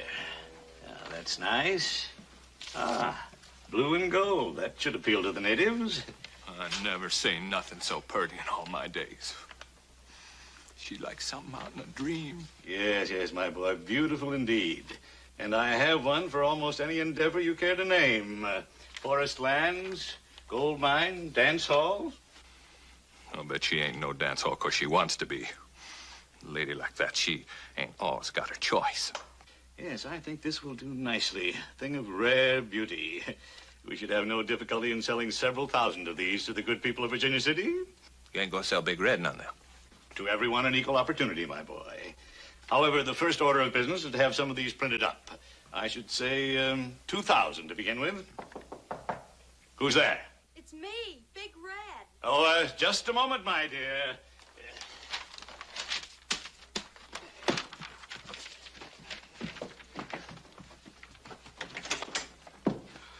Mr. Throckmorton?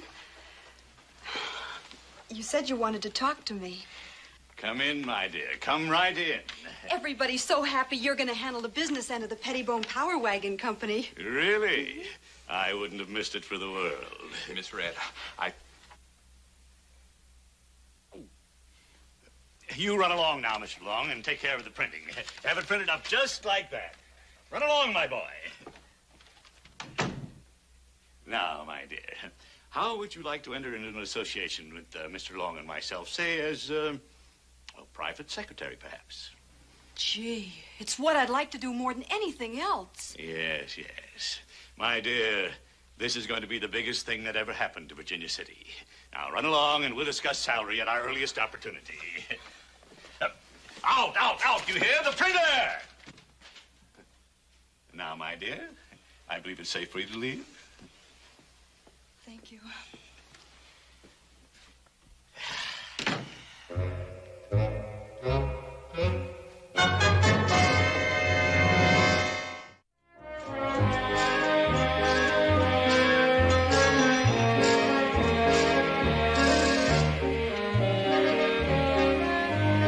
I can't see anything except a lot of fire and smoke. Hey, that's Hoss Cartwright over in back. See him? Oh, yeah, I do now. And there's Jeff and Jigger by the fire. Kids must know Hoss pretty well if you can recognize him like that. What are they doing in there, Mr. Pettibone? Well, Sonny, they're trying to make a casting. It's the ninth time we've tried. Well, how do you make a casting? Well, you take some iron, see, and you melt it, and you pour it into a mold. Now, that mold is a shape of something you want to make. Now, when that iron cools off, it hardens. You take away your mold, and what you got left there is the casting. What do they do with it? You make an engine if it comes out right. Boy, I bet your Hoss can make it come out right. I've seen him pick up a whole horse. This is more like picking up an elephant. But what if he can't do it? Well, we can't do it. We just can't build the power wagon. But don't you worry about it. That Hoss is pretty stubborn. Stubborn and capable. Darling, look what I have. Mr. Throckmorton had the made up. Isn't it darling?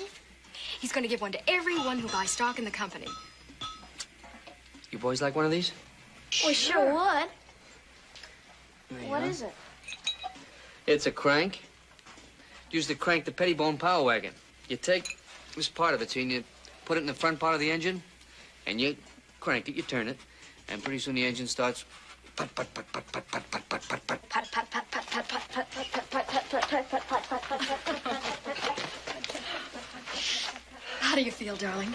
Oh, I feel great, just great. Come on. Come on. Don't overdo. Not now. Not when everything is going so wonderful.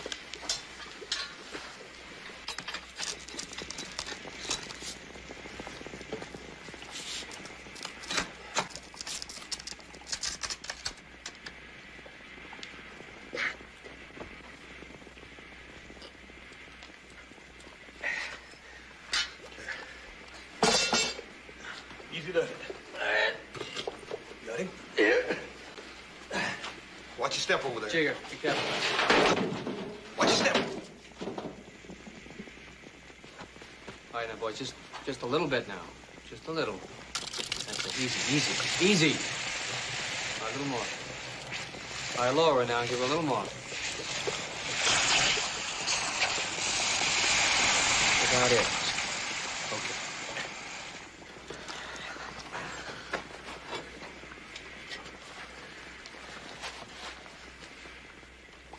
Well, it seems to have settled a little better this time, huh?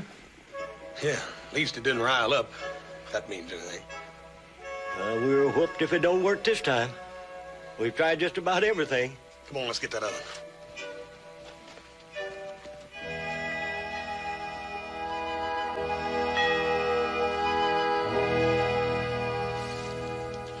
You just don't know what all this means to me.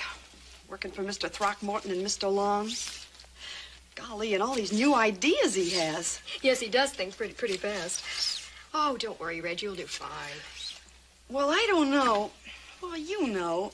I never worked anywhere outside a saloon. I mean, all of a sudden, being a lady. Being a lady is a state of mind. And I think you were always a lady. I'm so happy. I think I'm gonna cry.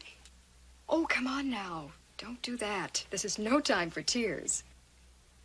Miss Pettibone, I'm just busting. I gotta tell somebody. Tell what?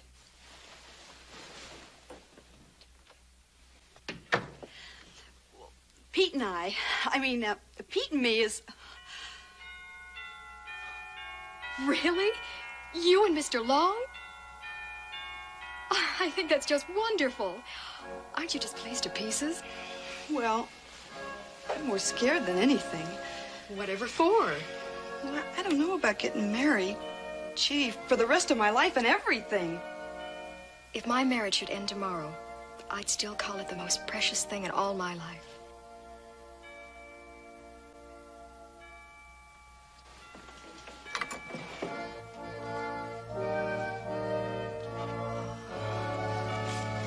Here, it's my wedding veil. Oh. I've always kept it with me. I want you to wear it at your wedding.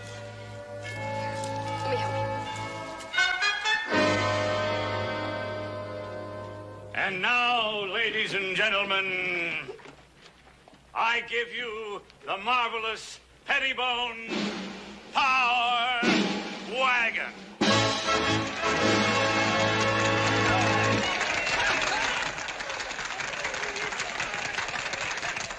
Ladies and gentlemen, I see doubt in some of your faces. I even see rejection in some. But stay. Let me breathe a breath of life into this vision. Listen to me. Look around you. What do you see? Some will say only shacks. I say open your eyes. I see tall chimneys and enormous buildings with huge furnaces that spout streams of molten metal where strong men pour and cast. And there, There at the end of the street, I see a many windowed factory where lathes hum and drills spin, where careful craftsmen fashion gleaming parts out of raw steel. And there, massive and dramatic, there stands the assembly plant. An endless belt moves there, past each man, where in his turn he adds a wheel, a seat, a mud guard until finally the Pettibone Power Wagon rolls from that line, a finished product, shining and powerful. Some of you may ask, what do we need with a power wagon? And some may say, no machine will ever take the place of man's most loyal friend, the horse. But I predict that this machine will travel in excess of 50 miles. Not in a day, my friends. No, not in half a day, but in the short space of one single hour.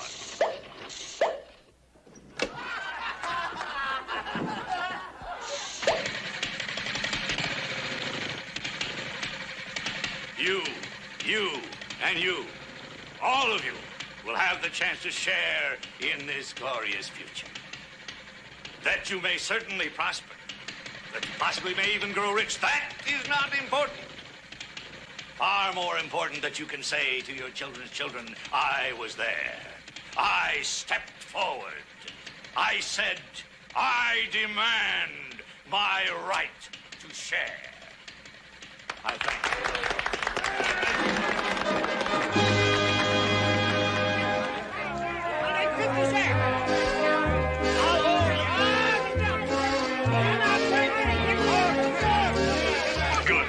Martin, real good. That'll sell a million. Mighty nice of you to say so.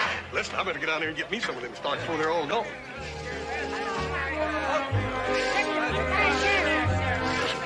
Anytime Horace Ogilvy puts a nickel into anything, you bet he's figuring on getting a dollar back.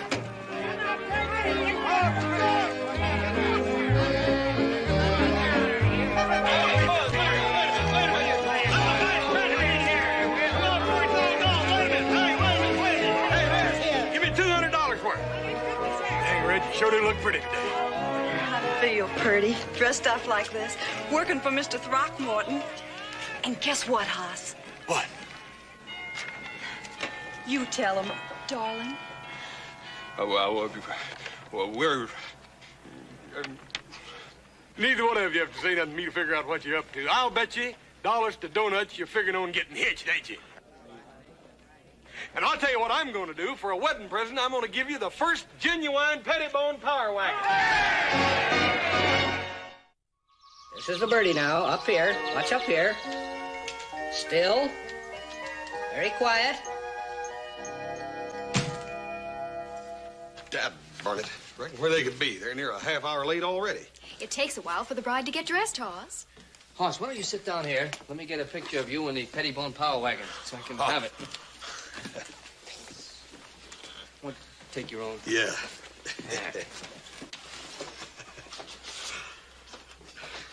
Uh, this all right for you, sir? That's wonderful. You better put a bigger plate in that camera if you expect to get it. Hoss. Look at the birdie.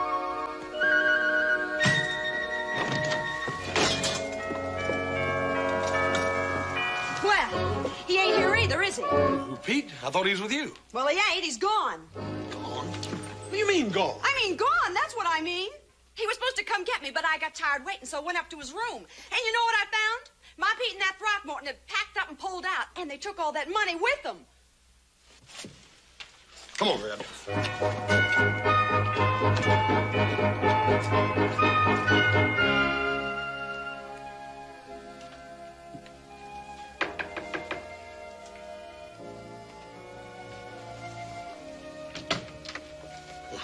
Howdy, Miss Pettibone. I'm sorry to bother, but I need to talk to Daniel. Is he pert enough to talk? Of course. Come in, Hoss. Hi, Daniel. Hi, Hoss. Robin here is the original model of the fuss budget.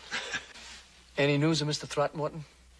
Daniel ain't no use in us fooling ourselves. That old scoundrel and Pete, too. They, they took that money. They had no intentions of bringing it back. Is the sheriff trying to find him? Oh, yeah, yeah. Sheriff and everybody else in town. They got a posse that's been all over the country. Daniel, you, uh, you ever been in jail? No, I never been in jail. Well, It ain't really so bad when you got good grub. Sheriff Coffee's got the best grub in town. Am I going to jail? But why? Horace Ogilvy's got half the town stirred up over that, that money it's gone. Roy Coffee thought it might be a good idea if Daniel came down and set a spell in the jailhouse.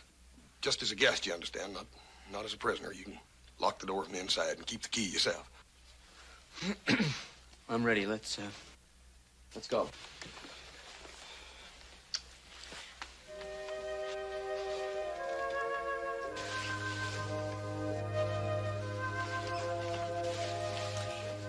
I'll be back.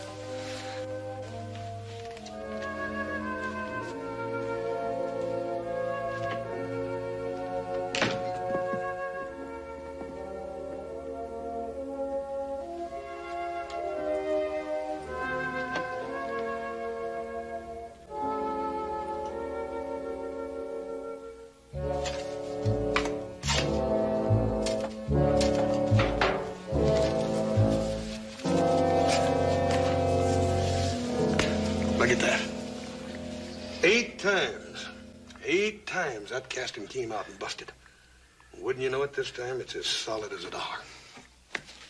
That means we could have finished building this whole rig.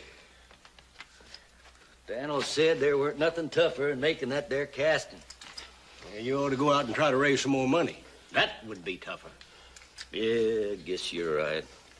Daniel in jail and no money. Boss, you figure you can finish building this here contraption? Uh, no, Jigger. I didn't even know what we was doing when Daniel was here telling us how. Maybe we ought to get drunk. Drunk? Drunk? I'd get up a lynch party and hang Horace Ogilvy higher than a hawk's nest. Ogilvy got no call to work up everybody again Dan. Dan never took his money. Yeah, hit old Ogilvy in the pocketbook and it sure enough hurts him. Yeah. Hey! Big Red. I'm your friend, Big Red. You ain't got no call to point that gun at me. I ain't pointing it at you. I just want you to come with me Where to? To Burton Falls. And when we get there, I'm going to shoot a hole right through Mr. Pete Long. Pete? Is is that where Pete's at? Right near there. I got this letter from him.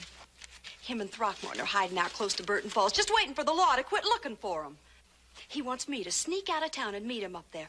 Me! He thinks I'm a crook, too. Why, the dirty skunk. I may be a floozy, but I'm an honest floozy. You're doggone right you are. They're staying at the old Perkins place. Dad, burn it, no wonder we missed them. Who'd have figured they'd have gone to ground so close by? We kept riding right on by by 'em. Old Throckmorton's smart as a fox. Yeah, but his partner ain't. Old Pete couldn't think a lick to begin with, and then after he fell in love with Big Red here, he just went plumb simple. No offense, Big Red. Don't make no difference. I'm going to shoot a hole right through him anyway. Now, now, Big Red, I, I don't know nothing about that, but if you can ride a horse, you're welcome to come along with me, but this gun's got to stay. Let's go. Come on.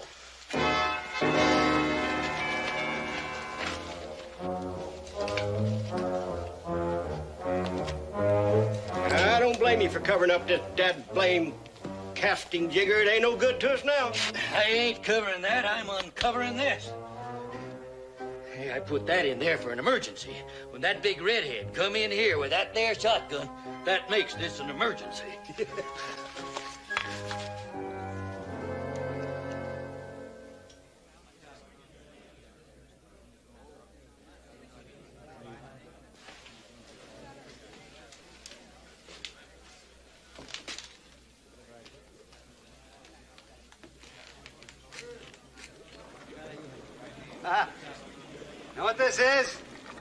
Tar.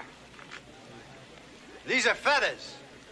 Tar and feathers for you, you thieving swindler. We'll paint you if we have to wait a year. Here's something else for you. Something the stockholders wanted us to give back to you.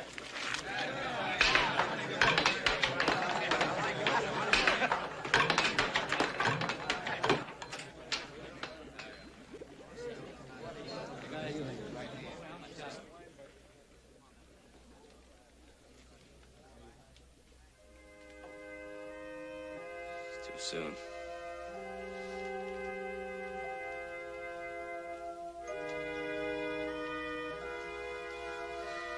It's too soon.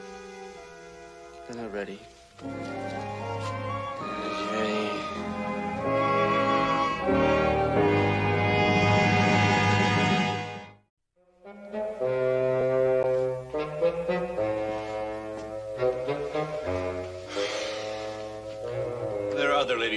Fair.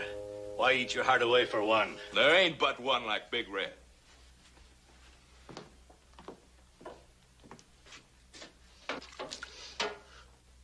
I sure wish she'd show up.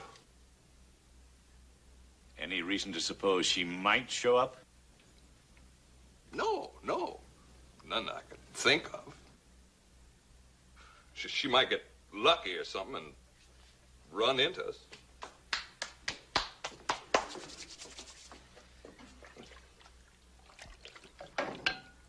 Ah, marvelous. Good beans, enough bread to last us for several weeks. A modest share of $25,000. Your cup should be full to overflowing, my boy. I'd rather have Big Red. Do you hear horses? No, just wedding bells. All right, boys, let's hold it right where you are.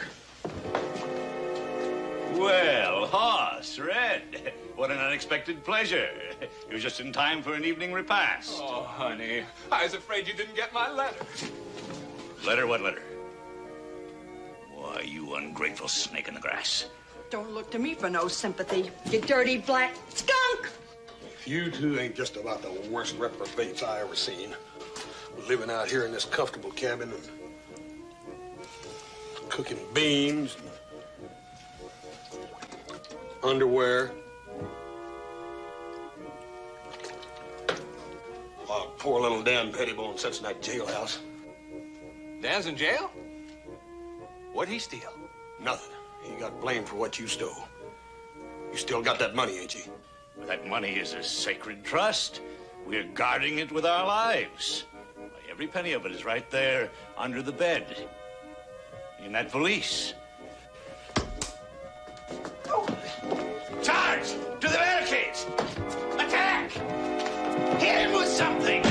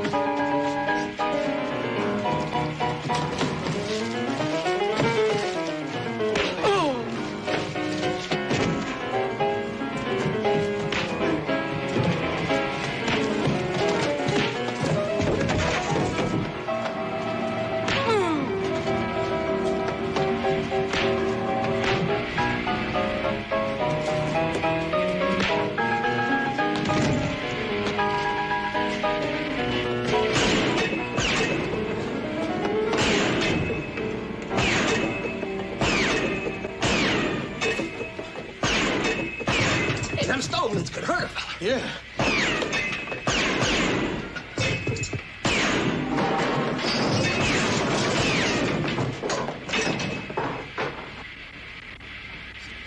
Looks like it's about over.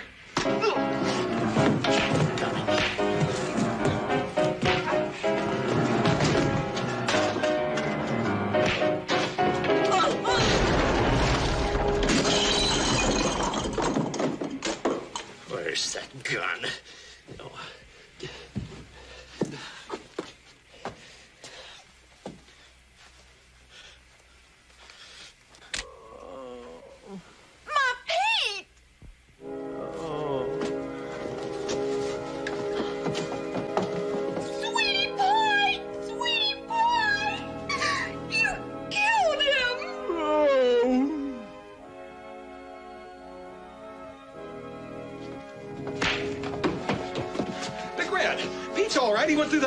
First. Red! Big Red.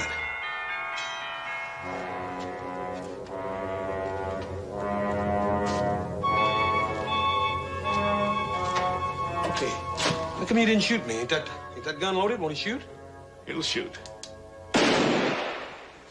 It's a weakness I had since I was a boy. I never could shoot a friend.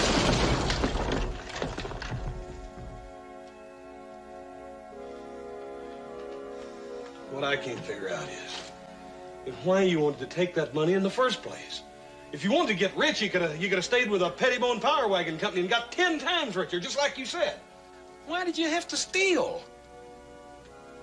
Because I'm dishonest.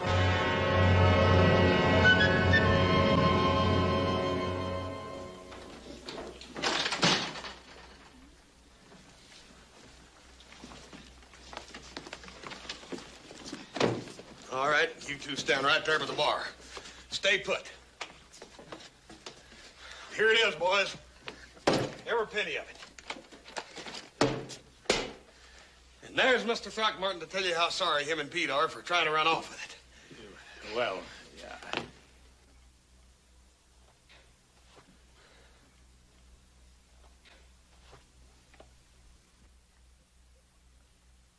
What's the matter with everybody? I brung your money back to you.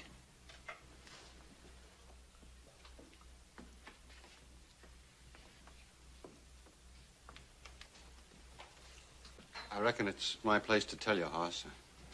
I fixed up a mess of tar and feathers and threatened Dan Pettibone with them. Doc says his heart failed him. He passed away. He died?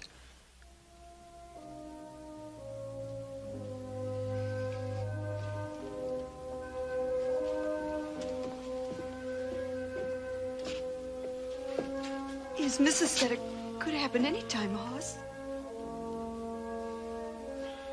Yeah, I reckon I knew that.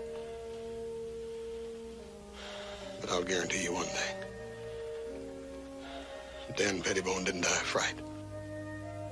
He wasn't scared of nobody. That don't make the news no better, though, does it? He was a good little fella.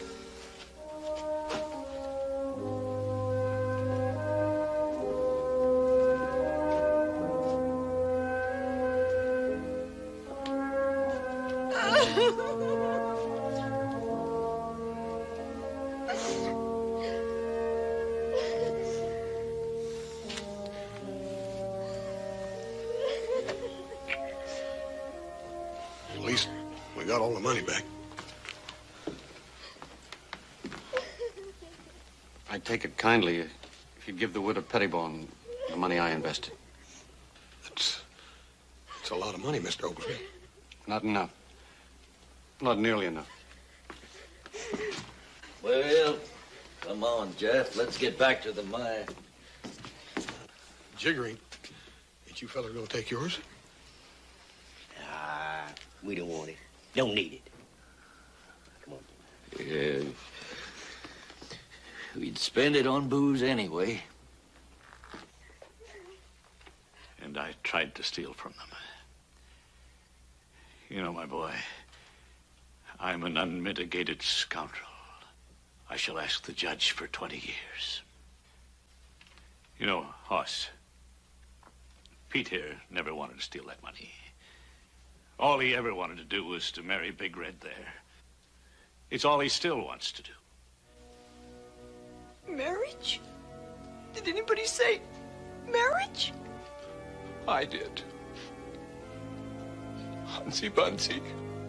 Sweetie pie.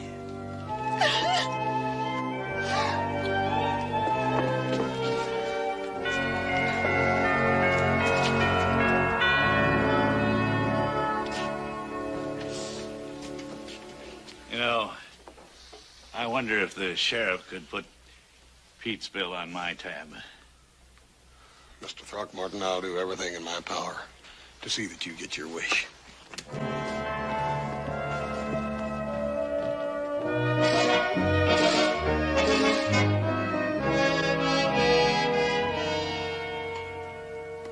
Ain't much of that, that uh, Scotty shale, ain't, ain't much of it left.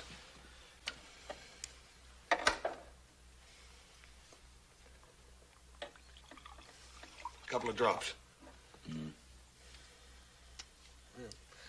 Can't get over how pretty old Big Red looked in her brand new wedding dress. Old Pete was as spruce as a brand new tattoo. You know, I can't get over those people letting Throckmorton and Pete go scot-free after them stealing that money.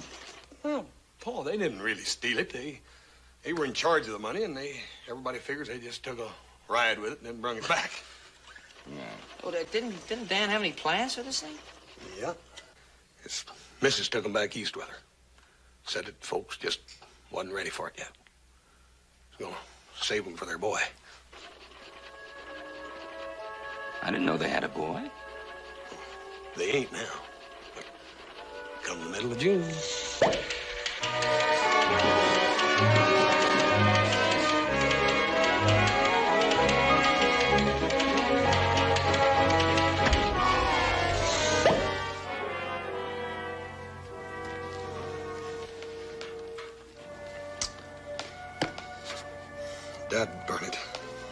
Still say it would have worked.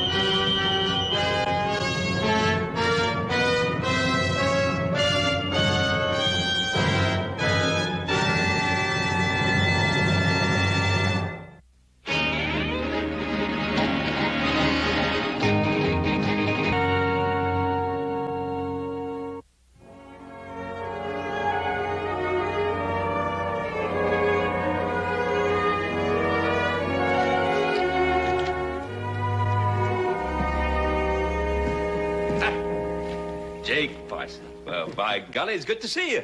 I figured you might feel like that. Yeah. Nice to see you, too, Ben. Well, come on in.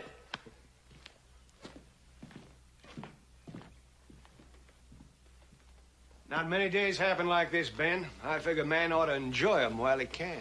Yeah. Like it says in the good book. It ain't what a man's got, it's his begats that counts. Well, uh, Jake, I uh, agree with you there. I guess we're lucky to have our children. You're right. Come into this world with nothing, we go out with nothing. Yeah. What reason for a man's existence if it ain't to look out for his kids? Very little, I guess. Well, I've been blessed that way. Two strapping boys, a girl. Of course, the boys have given me some trouble. but not my Mary. She's as good as they come. I agree with you, Jake. She's a mighty fine girl. Sometimes I used to think that the only thing that could raise on my land was a ruckus. Two years without rain or grass, and when the grass came, fire and rustlers. Well, you've had your share of hard luck, Jake. There's no denying. The Lord's will. Keep working hard and sweating. And things get better. I'm going to send uh, 600 head of cattle to market this year. 600 head? Well, by Mhm. golly, Jake, that's wonderful. Ben, I want to do my share for the young'uns. Well, every father should. You got good land to spare, I got cattle. And together we can scrape 'em up a nice little spread. Start 'em in right. My Mary and your little Joe. Been hoping that'd happen. I'm purely happy it did. Jake, I. I, I don't rightly know what, what you're aiming at. Well, now a, a church wedding would have been more to my taste, and a barbecue and a dance after, and but I finally tracked that sorrel down, Fon. How you doing, Mr. Parsons? well, little Joe, how's Mary? Mary? Uh, Joe, I, uh... Sit down. It was bad enough for Mary to elope, but the least you could do would be to bring her back afterwards so we could help celebrate. Hey, Mary eloped, huh? Who with? Oh, now, little Joe, I know about you young'uns. I couldn't be happier. Jake, Jake believes that that you uh, eloped with his daughter Mary. Me? Oh, well, heck no, sir. I, I didn't elope with anybody. Now, little Joe, there's no no need to lie about it. Well, I'm not lying. I haven't even seen her. Mary told me and the boys that you're going to take her on a picnic yesterday. Me? Yes, you. She drove out in the buggy to meet you a little after noon. And she ain't been back since. Now, if you didn't elope, suppose you tell me where she was all last night and where she is now. Well, I don't know. I told you I haven't seen her. Where was he last night? My son is old enough to answer for himself. Oh, you know where I was. I was out looking for that sorrel. Got late, so I camped in Buckhorn Flats. It's your answer, Jake. Where is she? And look, all I can tell you is the truth. I didn't see her. If she went on a picnic with someone, it wasn't me. Jake. She said she was going with you? Well, you must have heard her wrong. She says you've been courting her for two months. You deny that? I have to because it isn't true. You calling my Mary a liar? No, sir. I'm saying there must be some mistake. Appears to me there is some kind of mistake. Some bad mistake. Appears to me, too, there's going to be a wedding when my Mary comes home and tells me the truth about uh, all Jake, I know you're upset, but my son doesn't lie. Neither does my Mary.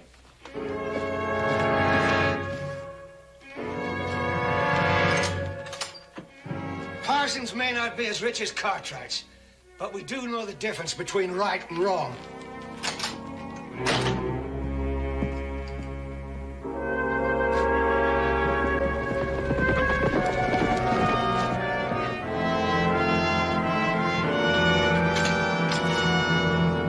We, found Mary, Pa.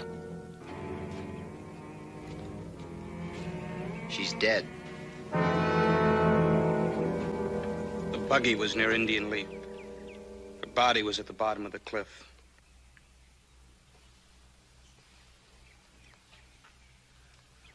Jake, this. This is terrible. Is there anything we could do? It. You Cartwrights have done enough. I want to see my daughter. You boys take me to her.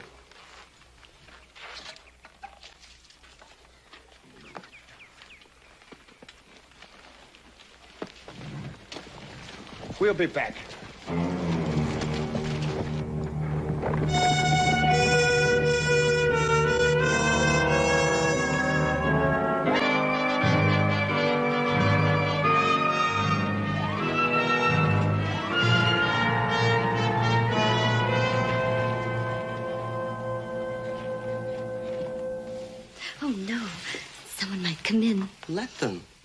Engaged, aren't we? I want the whole world to see and know how lucky I am. Dolly, do you think the governor will be at the reception? I don't know. That's the tenth time you've asked me that. Does it really matter that much? Well, of course it does. I want to meet him. Contacts like that are very important in the legal profession. Jerome, can't you ever forget business? Sweetheart, I didn't have the start that your father did. If I want to be worthy of you, I've got to make every moment count.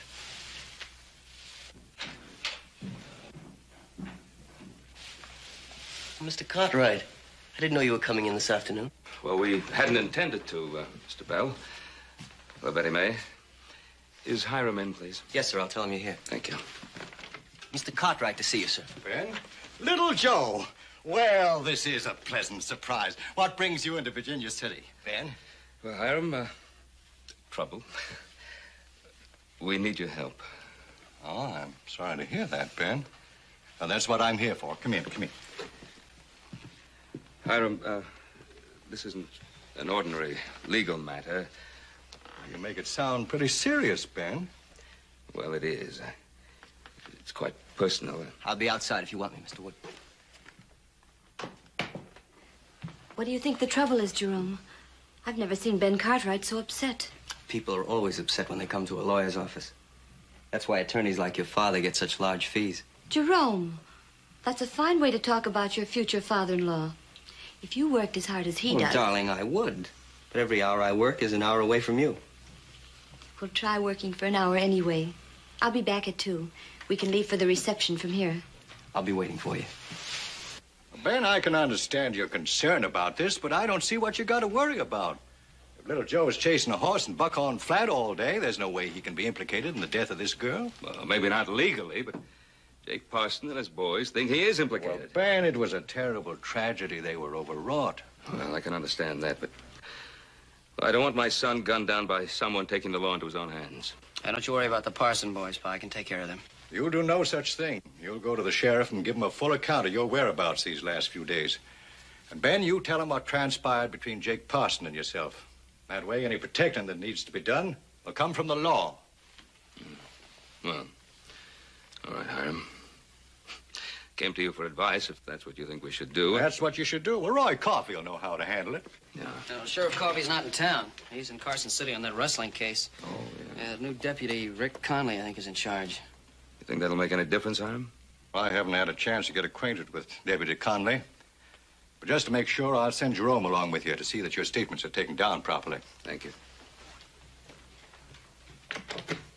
Jerome, will you step in, please? Yes, sir. Jerome, I want you to go to the sheriff's office with Ben and little Joe. They're going to make a statement. And I want you to protect their interest and see that it's recorded correctly. Do you want that taken care of immediately, sir? You know, Betty May and I do at the reception. Well, that'll have to wait. Of course. Is this Ponderosa business? Well, not exactly. Little Joe's going to make a statement as to his whereabouts at the time of Mary Parsons' death. Mary Parson? I hadn't heard. Her body was found at the bottom of Indian Leap. In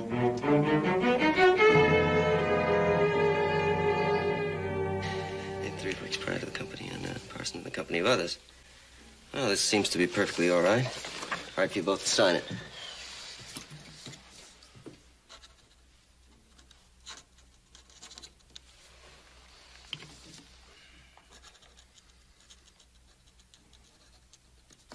Just witness it.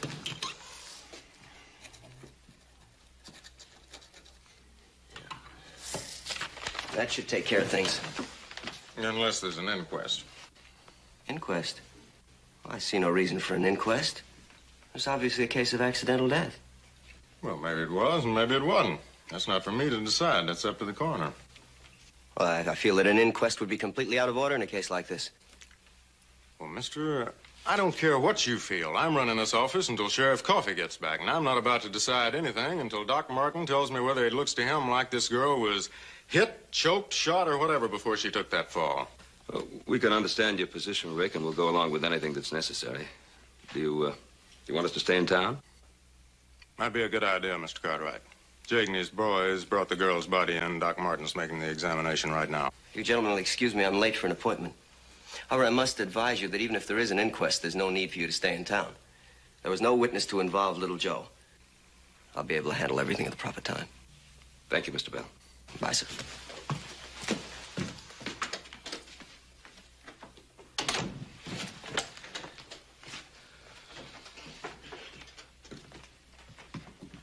He's right, Mr. Cartwright. I can't keep you in town unless you want to stay. Well, we'll, uh, we'll stay in town until after the doctor has made his examination. We'll be in his office if you need us. All right, sir.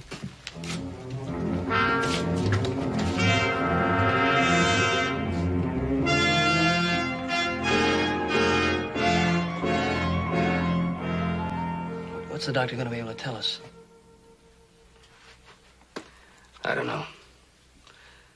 The more information we have, the better we'll be able to reason with Jake Parson. Well, that girl fell two on her feet. I don't see how they could tell anything.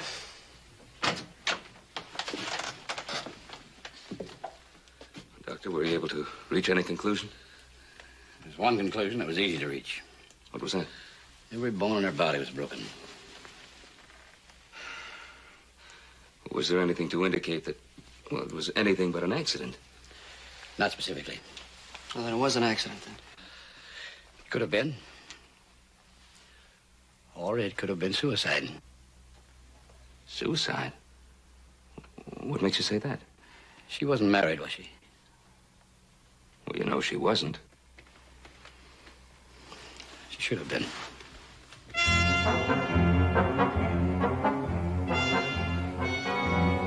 A son. Oh, fine. I was never even alone with her.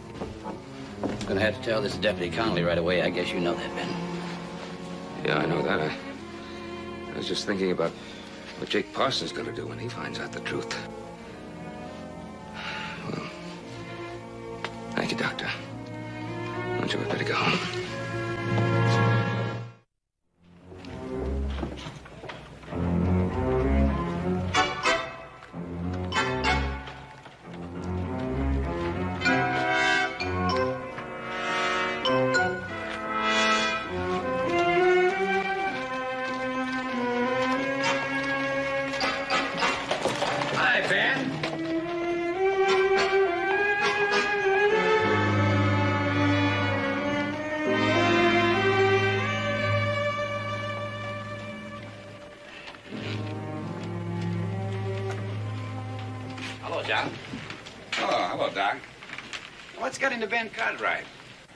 Little Joe went by me like I was a rock in the road. No, it's nothing personal, I'm sure. They're concerned about Mary Parson being found dead. Mary Parson dead. When was this? Our brothers found her body yesterday. Happened the day before, though. The day before. I saw her that day around noon. Where'd you see her? Why, right on the road to Indian Leap. Must have happened right after I saw them. Them? You mean there was somebody with her? Sure there was. She was with little Joe Cartwright. I even waved to them when they went by. Are you sure you saw her with little Joe Cartwright? Don't you think I know little Joe when I see him? Well, you'd better be sure, because you're going to have to tell that to Ben Cartwright. Tell Ben Cartwright why?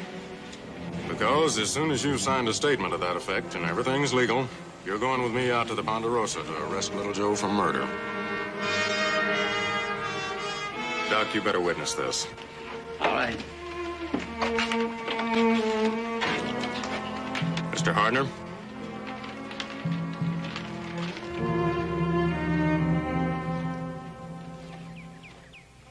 Howdy.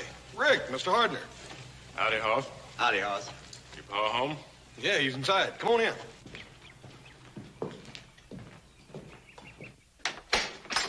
Come on in, Rick. John. Deputy. Well, come on in, gentlemen. Sit down. Uh, thank you, Mr. Cartwright, but uh, we're here on official business. Oh, well. What does that mean? You go ahead and tell him what you told me, Mr. Hardner. Sorry as I am to say it, Ben. I saw little Joe and Mary Parson driving up toward Indian Leap day before yesterday. You what? You were in Parson's buggy, little Joe. Your paint horse was tied on behind. Mr. Hardner, that's not the truth. I wish it'd been somebody else that saw you, Joe. It ain't easy to do this to a friend. Pa, he's lying. Pa, little Joe wasn't in that buggy. He wasn't nowhere near Indian Leap. Oh, I, I know that. Well, what are we doing standing here listening to this for? Well, John, for some reason, thinks that he saw little Joe and Mary in that buggy. He believes it. Well, that kind of believing can put a rope around Joe's neck.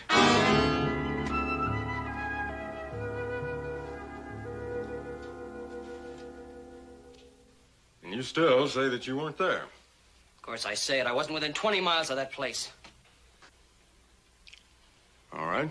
Comes down to your word against Mr. Hardner's. In a case like that, a jury's going to have to decide it. I'm sorry, Joe, but I'm going to have to take you in.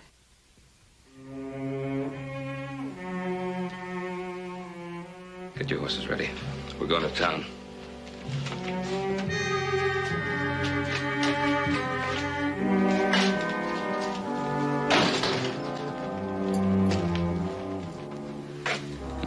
Boy. Never doubt that for an instant.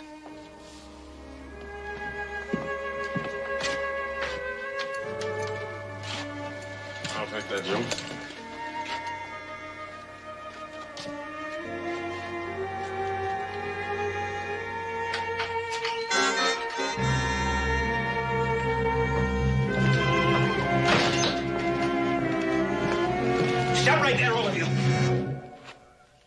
To do this. Little Joe's under arrest. We're on our way to town. Get out of the way, Cartwright. I come out here to get one, but I'll take two if I have to. Little Joe's not wearing a gun. You can't shoot an unarmed man. What chance did he give my sister? I never even saw your sister. And that's what you'd say, sure. But she said she was going to meet you, and that's good enough for me. Get out of the way, Cartwright! Don't be a fool, Pete. Let the law handle this. Cartwright's a big name around these parts. One kind of law for you and another kind for the rest of us. That isn't true, Pete. Not this time, it ain't. I'm to have me an eye for an eye.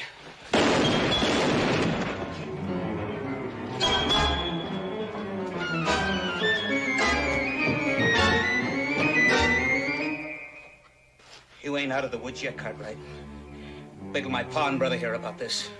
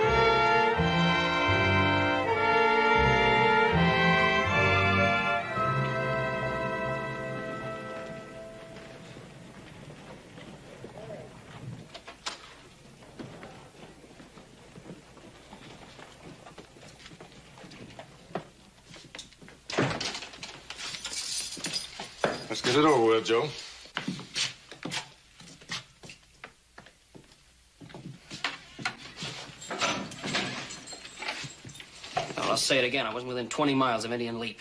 Then you got nothing to be afraid of. Now, haven't I? All I saw was a rabbit, a buck, and that sorrel. Are They gonna testify in my behalf? Well, I guess somebody better tell Jake Parson about Pete. Don't worry. I don't doubt that all the Parsons have heard about it by now. Yeah, I guess you're right. I gotta say Hiram Wood. You boys coming along? No, we'll keep Joe company. Yeah, make sure you don't get no uninvited company that's a good idea.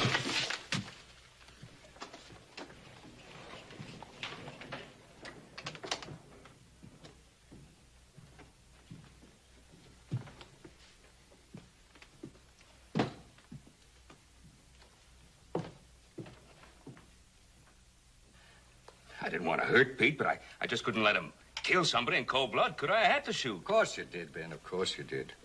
But right now, the Parsons are the least of your worries. Well, let's face it.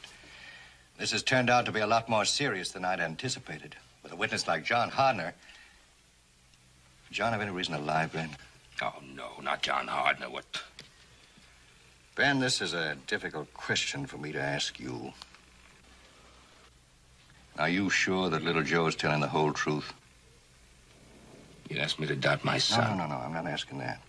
All I'm asking is, do you think there's any chance that little Joe... If I were to start doubting my son at this point, everything I've lived and worked for would be lost. Ben, I'm your lawyer. I have to think the way a jury's going to think. Believe me, with this latest news about the girl and John Hardner's testimony, this is going to come before a jury. Hiram, what do we do? Well, you two have a good time at the reception? Oh, Father, it was absolutely wonderful. Jerome made such an impression on the governor. The governor hardly noticed anyone else. I was surprised how young he is. We did seem to have a lot in common.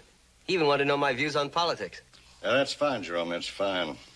Right now, politics can wait. We've got something much more urgent to consider at the moment. Well, yes, sir, of course.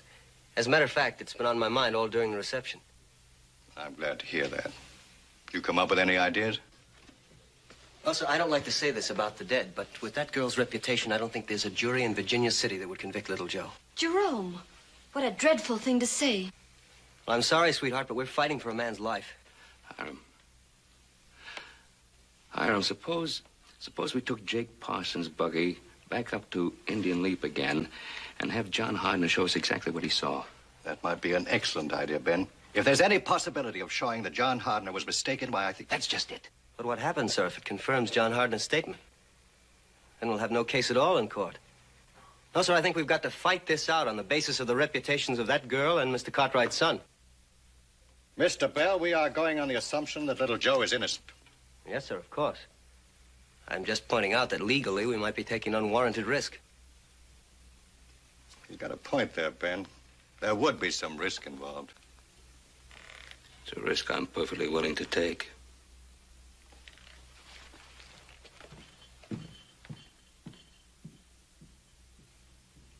I hope we don't regret this, Mr. Wood.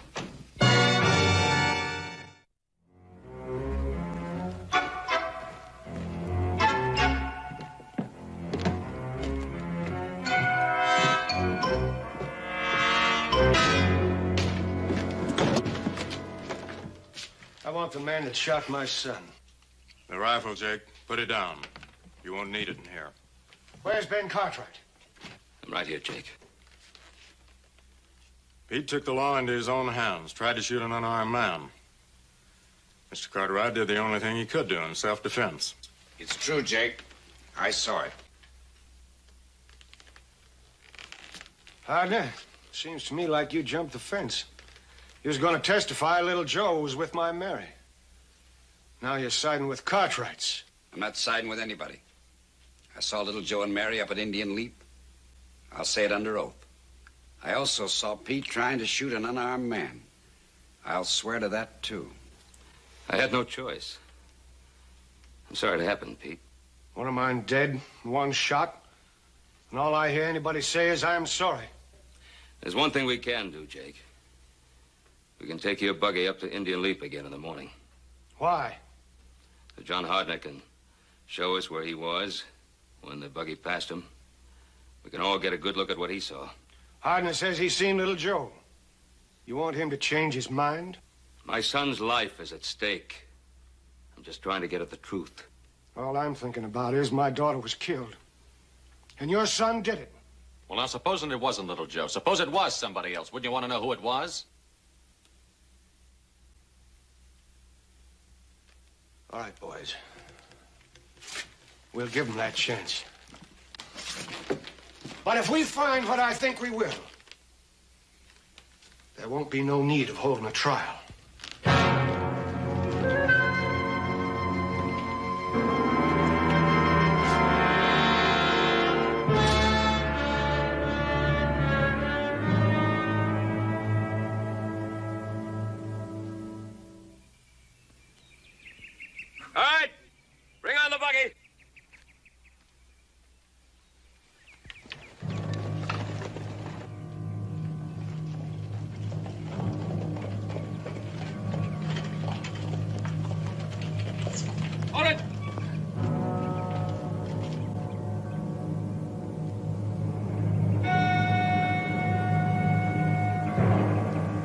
Hey, John, is this as close as you got to that buggy? Just about the exact spot, Ben. Well, we can't see the man's face, and we're a foot. How can you see him sitting as high as you are? I didn't say I could see his face from here. I sure saw his paint horse tied on behind the buggy. He probably turned and looked when you got down on the road. Uh, stop putting words in his mouth. Move the buggy on down the road. Now you ride down to the road and make your turn.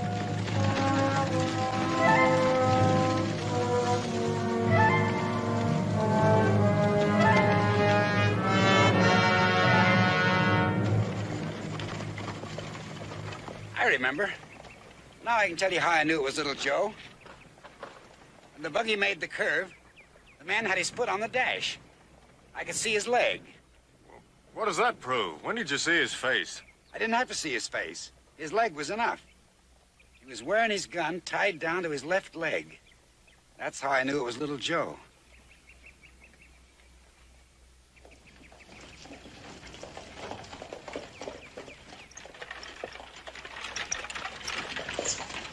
Well, what'd you find out? Just what we knew we'd find. Well, Deputy, what do you say now? Inquest will be in my office at 2 o'clock. I'm just seeing to it that whatever needs doing is done proper and legal. My sister's dead. The man that pushed her off that cliff is still alive. You call that legal and proper? I said there'd be an inquest and a trial. There'll be a trial and a hanging. We heard what you said, Mr. Hardner. And if you don't say it again so everybody can hear, you won't live to get off that witness chair.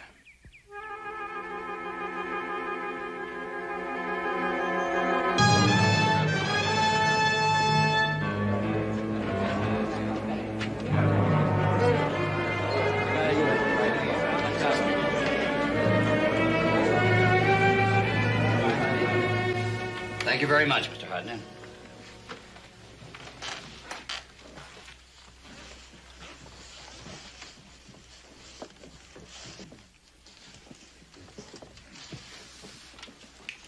Will the foreman of the coroner's jury please rise? Have you reached a verdict? Yeah, we sure have. State it. Mary Parson was murdered by little Joe Cartwright. Jim, you know better than to say that. All you're to determine is the cause of death. Anything else will be decided by a judge and jury at the proper time. Well, that is the cause of death. Little Joe Cartwright pushed her off of that cliff. If the jury finds that she died by violence, it'll have to be it. Deputy Conley.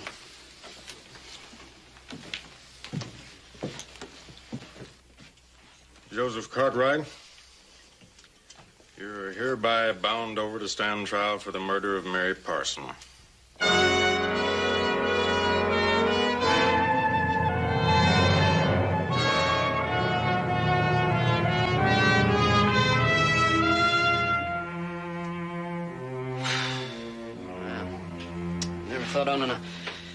Pony and being left-handed could get a fellow in so much trouble. Hiram, the boys and I know that Joseph didn't murder Mary Parson. I don't care what anybody says. He didn't do it. Pa, wait a minute. What? What Joe just said about the pony and, and being left-handed. No? What about it? Well, now, Hardner didn't say he saw the man's face. He just said he saw a paint pony and a left-handed gun. Yeah, it was enough to hang me. Yeah, but is it? What are you driving at, Adam? Well, why would Mary Parson tell her father that she was going out with little Joe when we know that she wasn't? Yeah. Why would she, Pa? Well, obviously because she didn't want her father to know that she was going out with the whoever it was. Yeah, and, yeah, and whoever it was must have a left-handed gun and a paid pony, right? How about that, Hiram? Fine, but how do we prove it? Well, first, let's find this whoever it was. Hoss, you check with the harness makers. Adam, check the livery stables. Hiram, I don't know why we didn't think of this before. Ben, if this works, I'll get Jerome Bell working on it right away.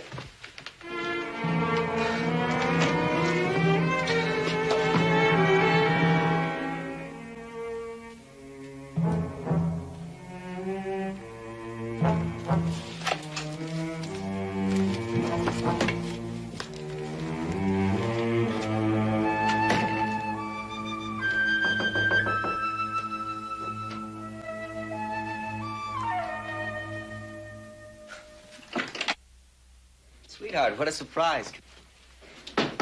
I really shouldn't be here, but I wanted to talk to you. And Papa said you'd be here working.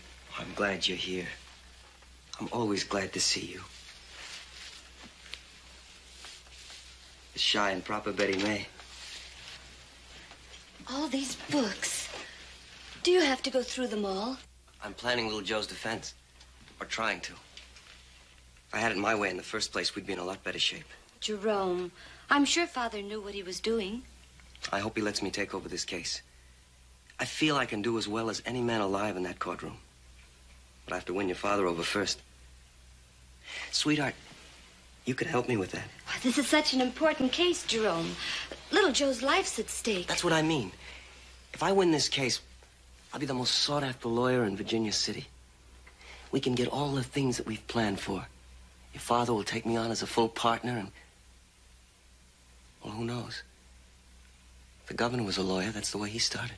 Of course, Jerome. I'm sure all those things will come in time. But right now, we must be thinking about little Joe. Thinking isn't enough. The evidence clearly indicates his guilt. Well, I don't think he's guilty. But it's what I can convince the jury of that counts. Oh, I can't believe he's guilty. Jerome, I don't believe he'd push anyone off a cliff. Given sufficient provocation, any man can commit a murder. That's not my definition, sweetheart, but you'll find it in any legal text just the same.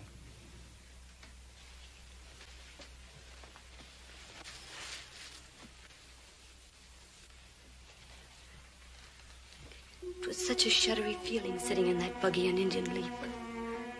I dreamed about that girl, only she didn't have a face. You know, I always was a little envious of her. She was such a pretty girl.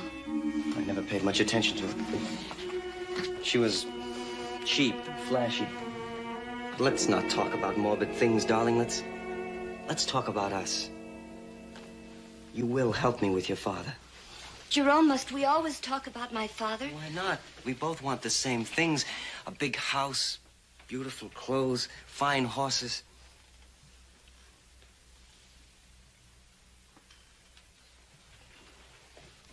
I just want happiness. I just want.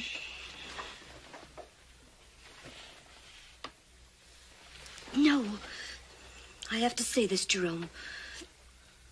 You want success so badly that sometimes I wonder if you want to marry me just because I'm Hiram Wood's daughter. You silly girl. You know better than that. All I want is you.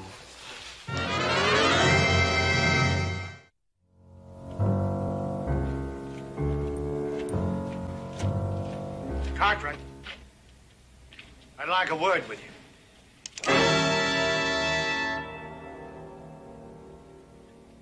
I said I'd like a word with you.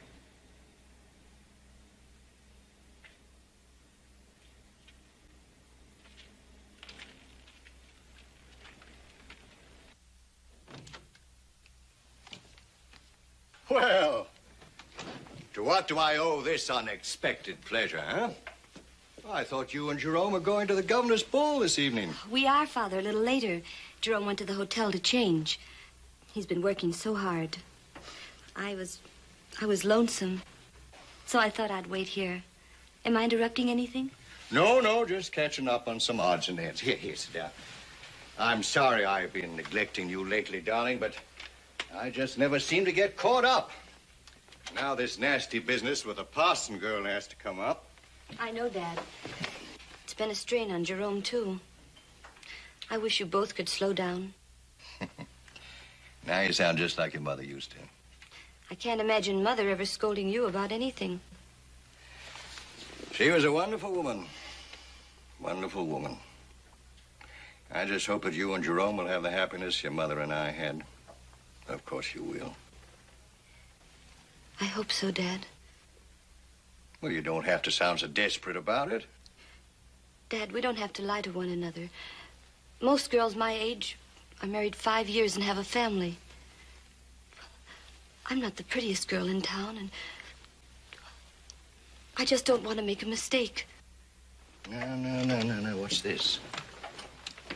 Have you and your young man have words or something? I suppose I'm being silly. It's just that sometimes, sometimes it seems as if Jerome loves his work more than he does me. Oh, so that's it. Well, sweetheart, I doubt very much that you're the first woman ever to say that. Jerome's a very ambitious young man. That's it. Ambitious. So terribly ambitious. It frightens me. Dad, at the reception, when Jerome met the governor, it was just as if suddenly I ceased to exist. Baby, baby, now you are being silly. I suppose I am. I shouldn't be bothering you with my troubles. Of course you should. Of course you should. That's what I'm here for. Now, you run along and have a good time. World looks a lot prettier under a full moon, you know. Thanks for talking to me, Dad.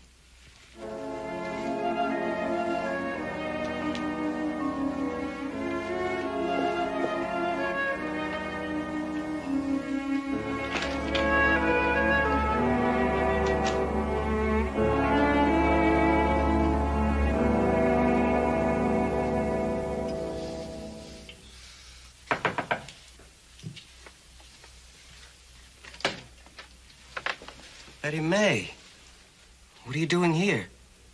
Is anything wrong? No, there's nothing wrong. I just wanted to see you. You shouldn't have come here. Why? I'm in love with you. I was lonesome. Someone might have seen you. You know how the gossips are in this town. Let them talk. I'm not ashamed of my love. Are you? Of course not. I just didn't want you to see how I live. I'll be with you in a moment.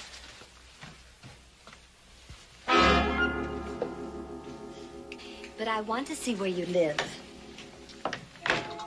I want to know everything about you. I want to know every thought you have. Come on, sweetheart, let's go. Who's the girl in the picture? Oh, just some girl, nothing important. That's a picture of Mary Parson, isn't it? I picked it up today in connection with the trial. You knew her, didn't you? Betty May, you're being unreasonable. Being a lawyer, I meet many people. If you had told me, I wouldn't have cared. I knew there were other women. Jerome, why did you lie to me? There wasn't anything to tell you. There wasn't anything between us. Then why did you lie? Well, I, I didn't want your father to know. I was afraid he might object. Darling, please, let's forget it. She was very lovely, wasn't she? She was prettier than I am, younger and prettier. That isn't so. You're the prettiest girl I've ever seen. Darling, I love you. Don't you know that? No, I don't know it. I wish I did, but it isn't so. I guess I knew that right from the start. How can you say that? After all the plans we've made. A big house, fine clothes, the best carriage in town, the governor's mansion. Those were your plans, Jerome, not mine. Well, what's wrong with that? Why do you object to those things? Mary Parson couldn't get them for you, could she? I told you to forget about Mary Parsons. Can you forget her? She was nobody. She was cheap. She was trying to blackmail me. She was going to go to you. You killed her. No, no, no. It was an accident, sweetheart. We we went for a ride. It'll be all right. I'll I'll win the case. Little Joe will go free, and and we can get all the things that we've always wanted.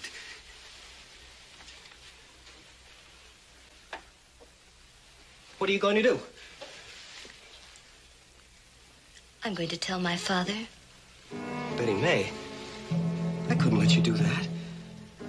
I couldn't let you do anything like that.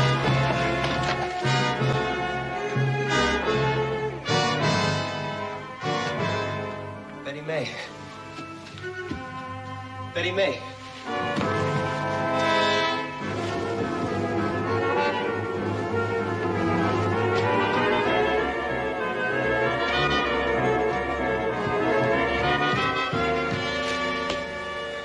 Betty May.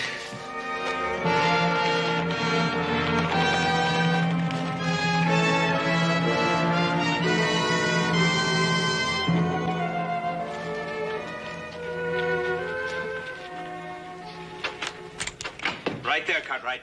Don't move.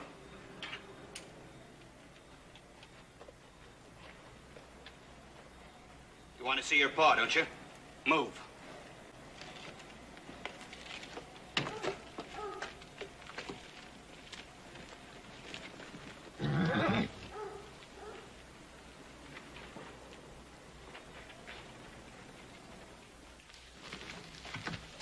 What's this all about, Pa? Oh, these stupid people think they can take the law into their own hands. We don't think it, we know it. We're gonna move on that jail, take out your son, and string him up. Little Joe didn't kill your Mary. We got the proof. There's a bill of sale for a paint pony. see. Here's one for a left-handed holster signed by John Solly. Jerome Bell. That's right. Do you believe us now, Jake? I hope this ain't a Cartwright trick. All right. We're gonna pay a visit to Mr. Jerome Bell. All right, boys.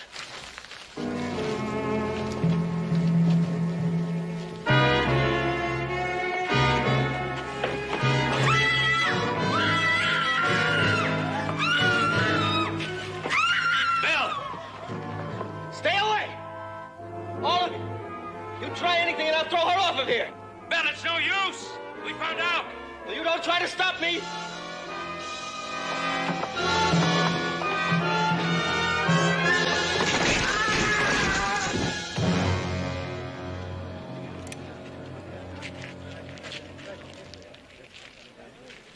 better go to your daughter.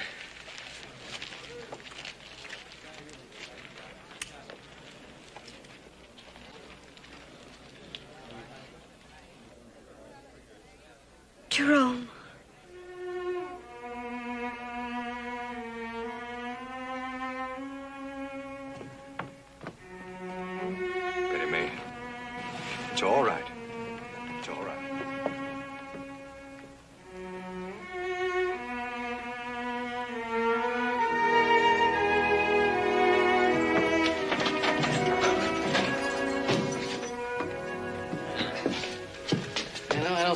Get used to living in there. Good to have you out, Joe. Oh, I don't know. It's been kind of peaceful around the Ponderosa the last couple of days.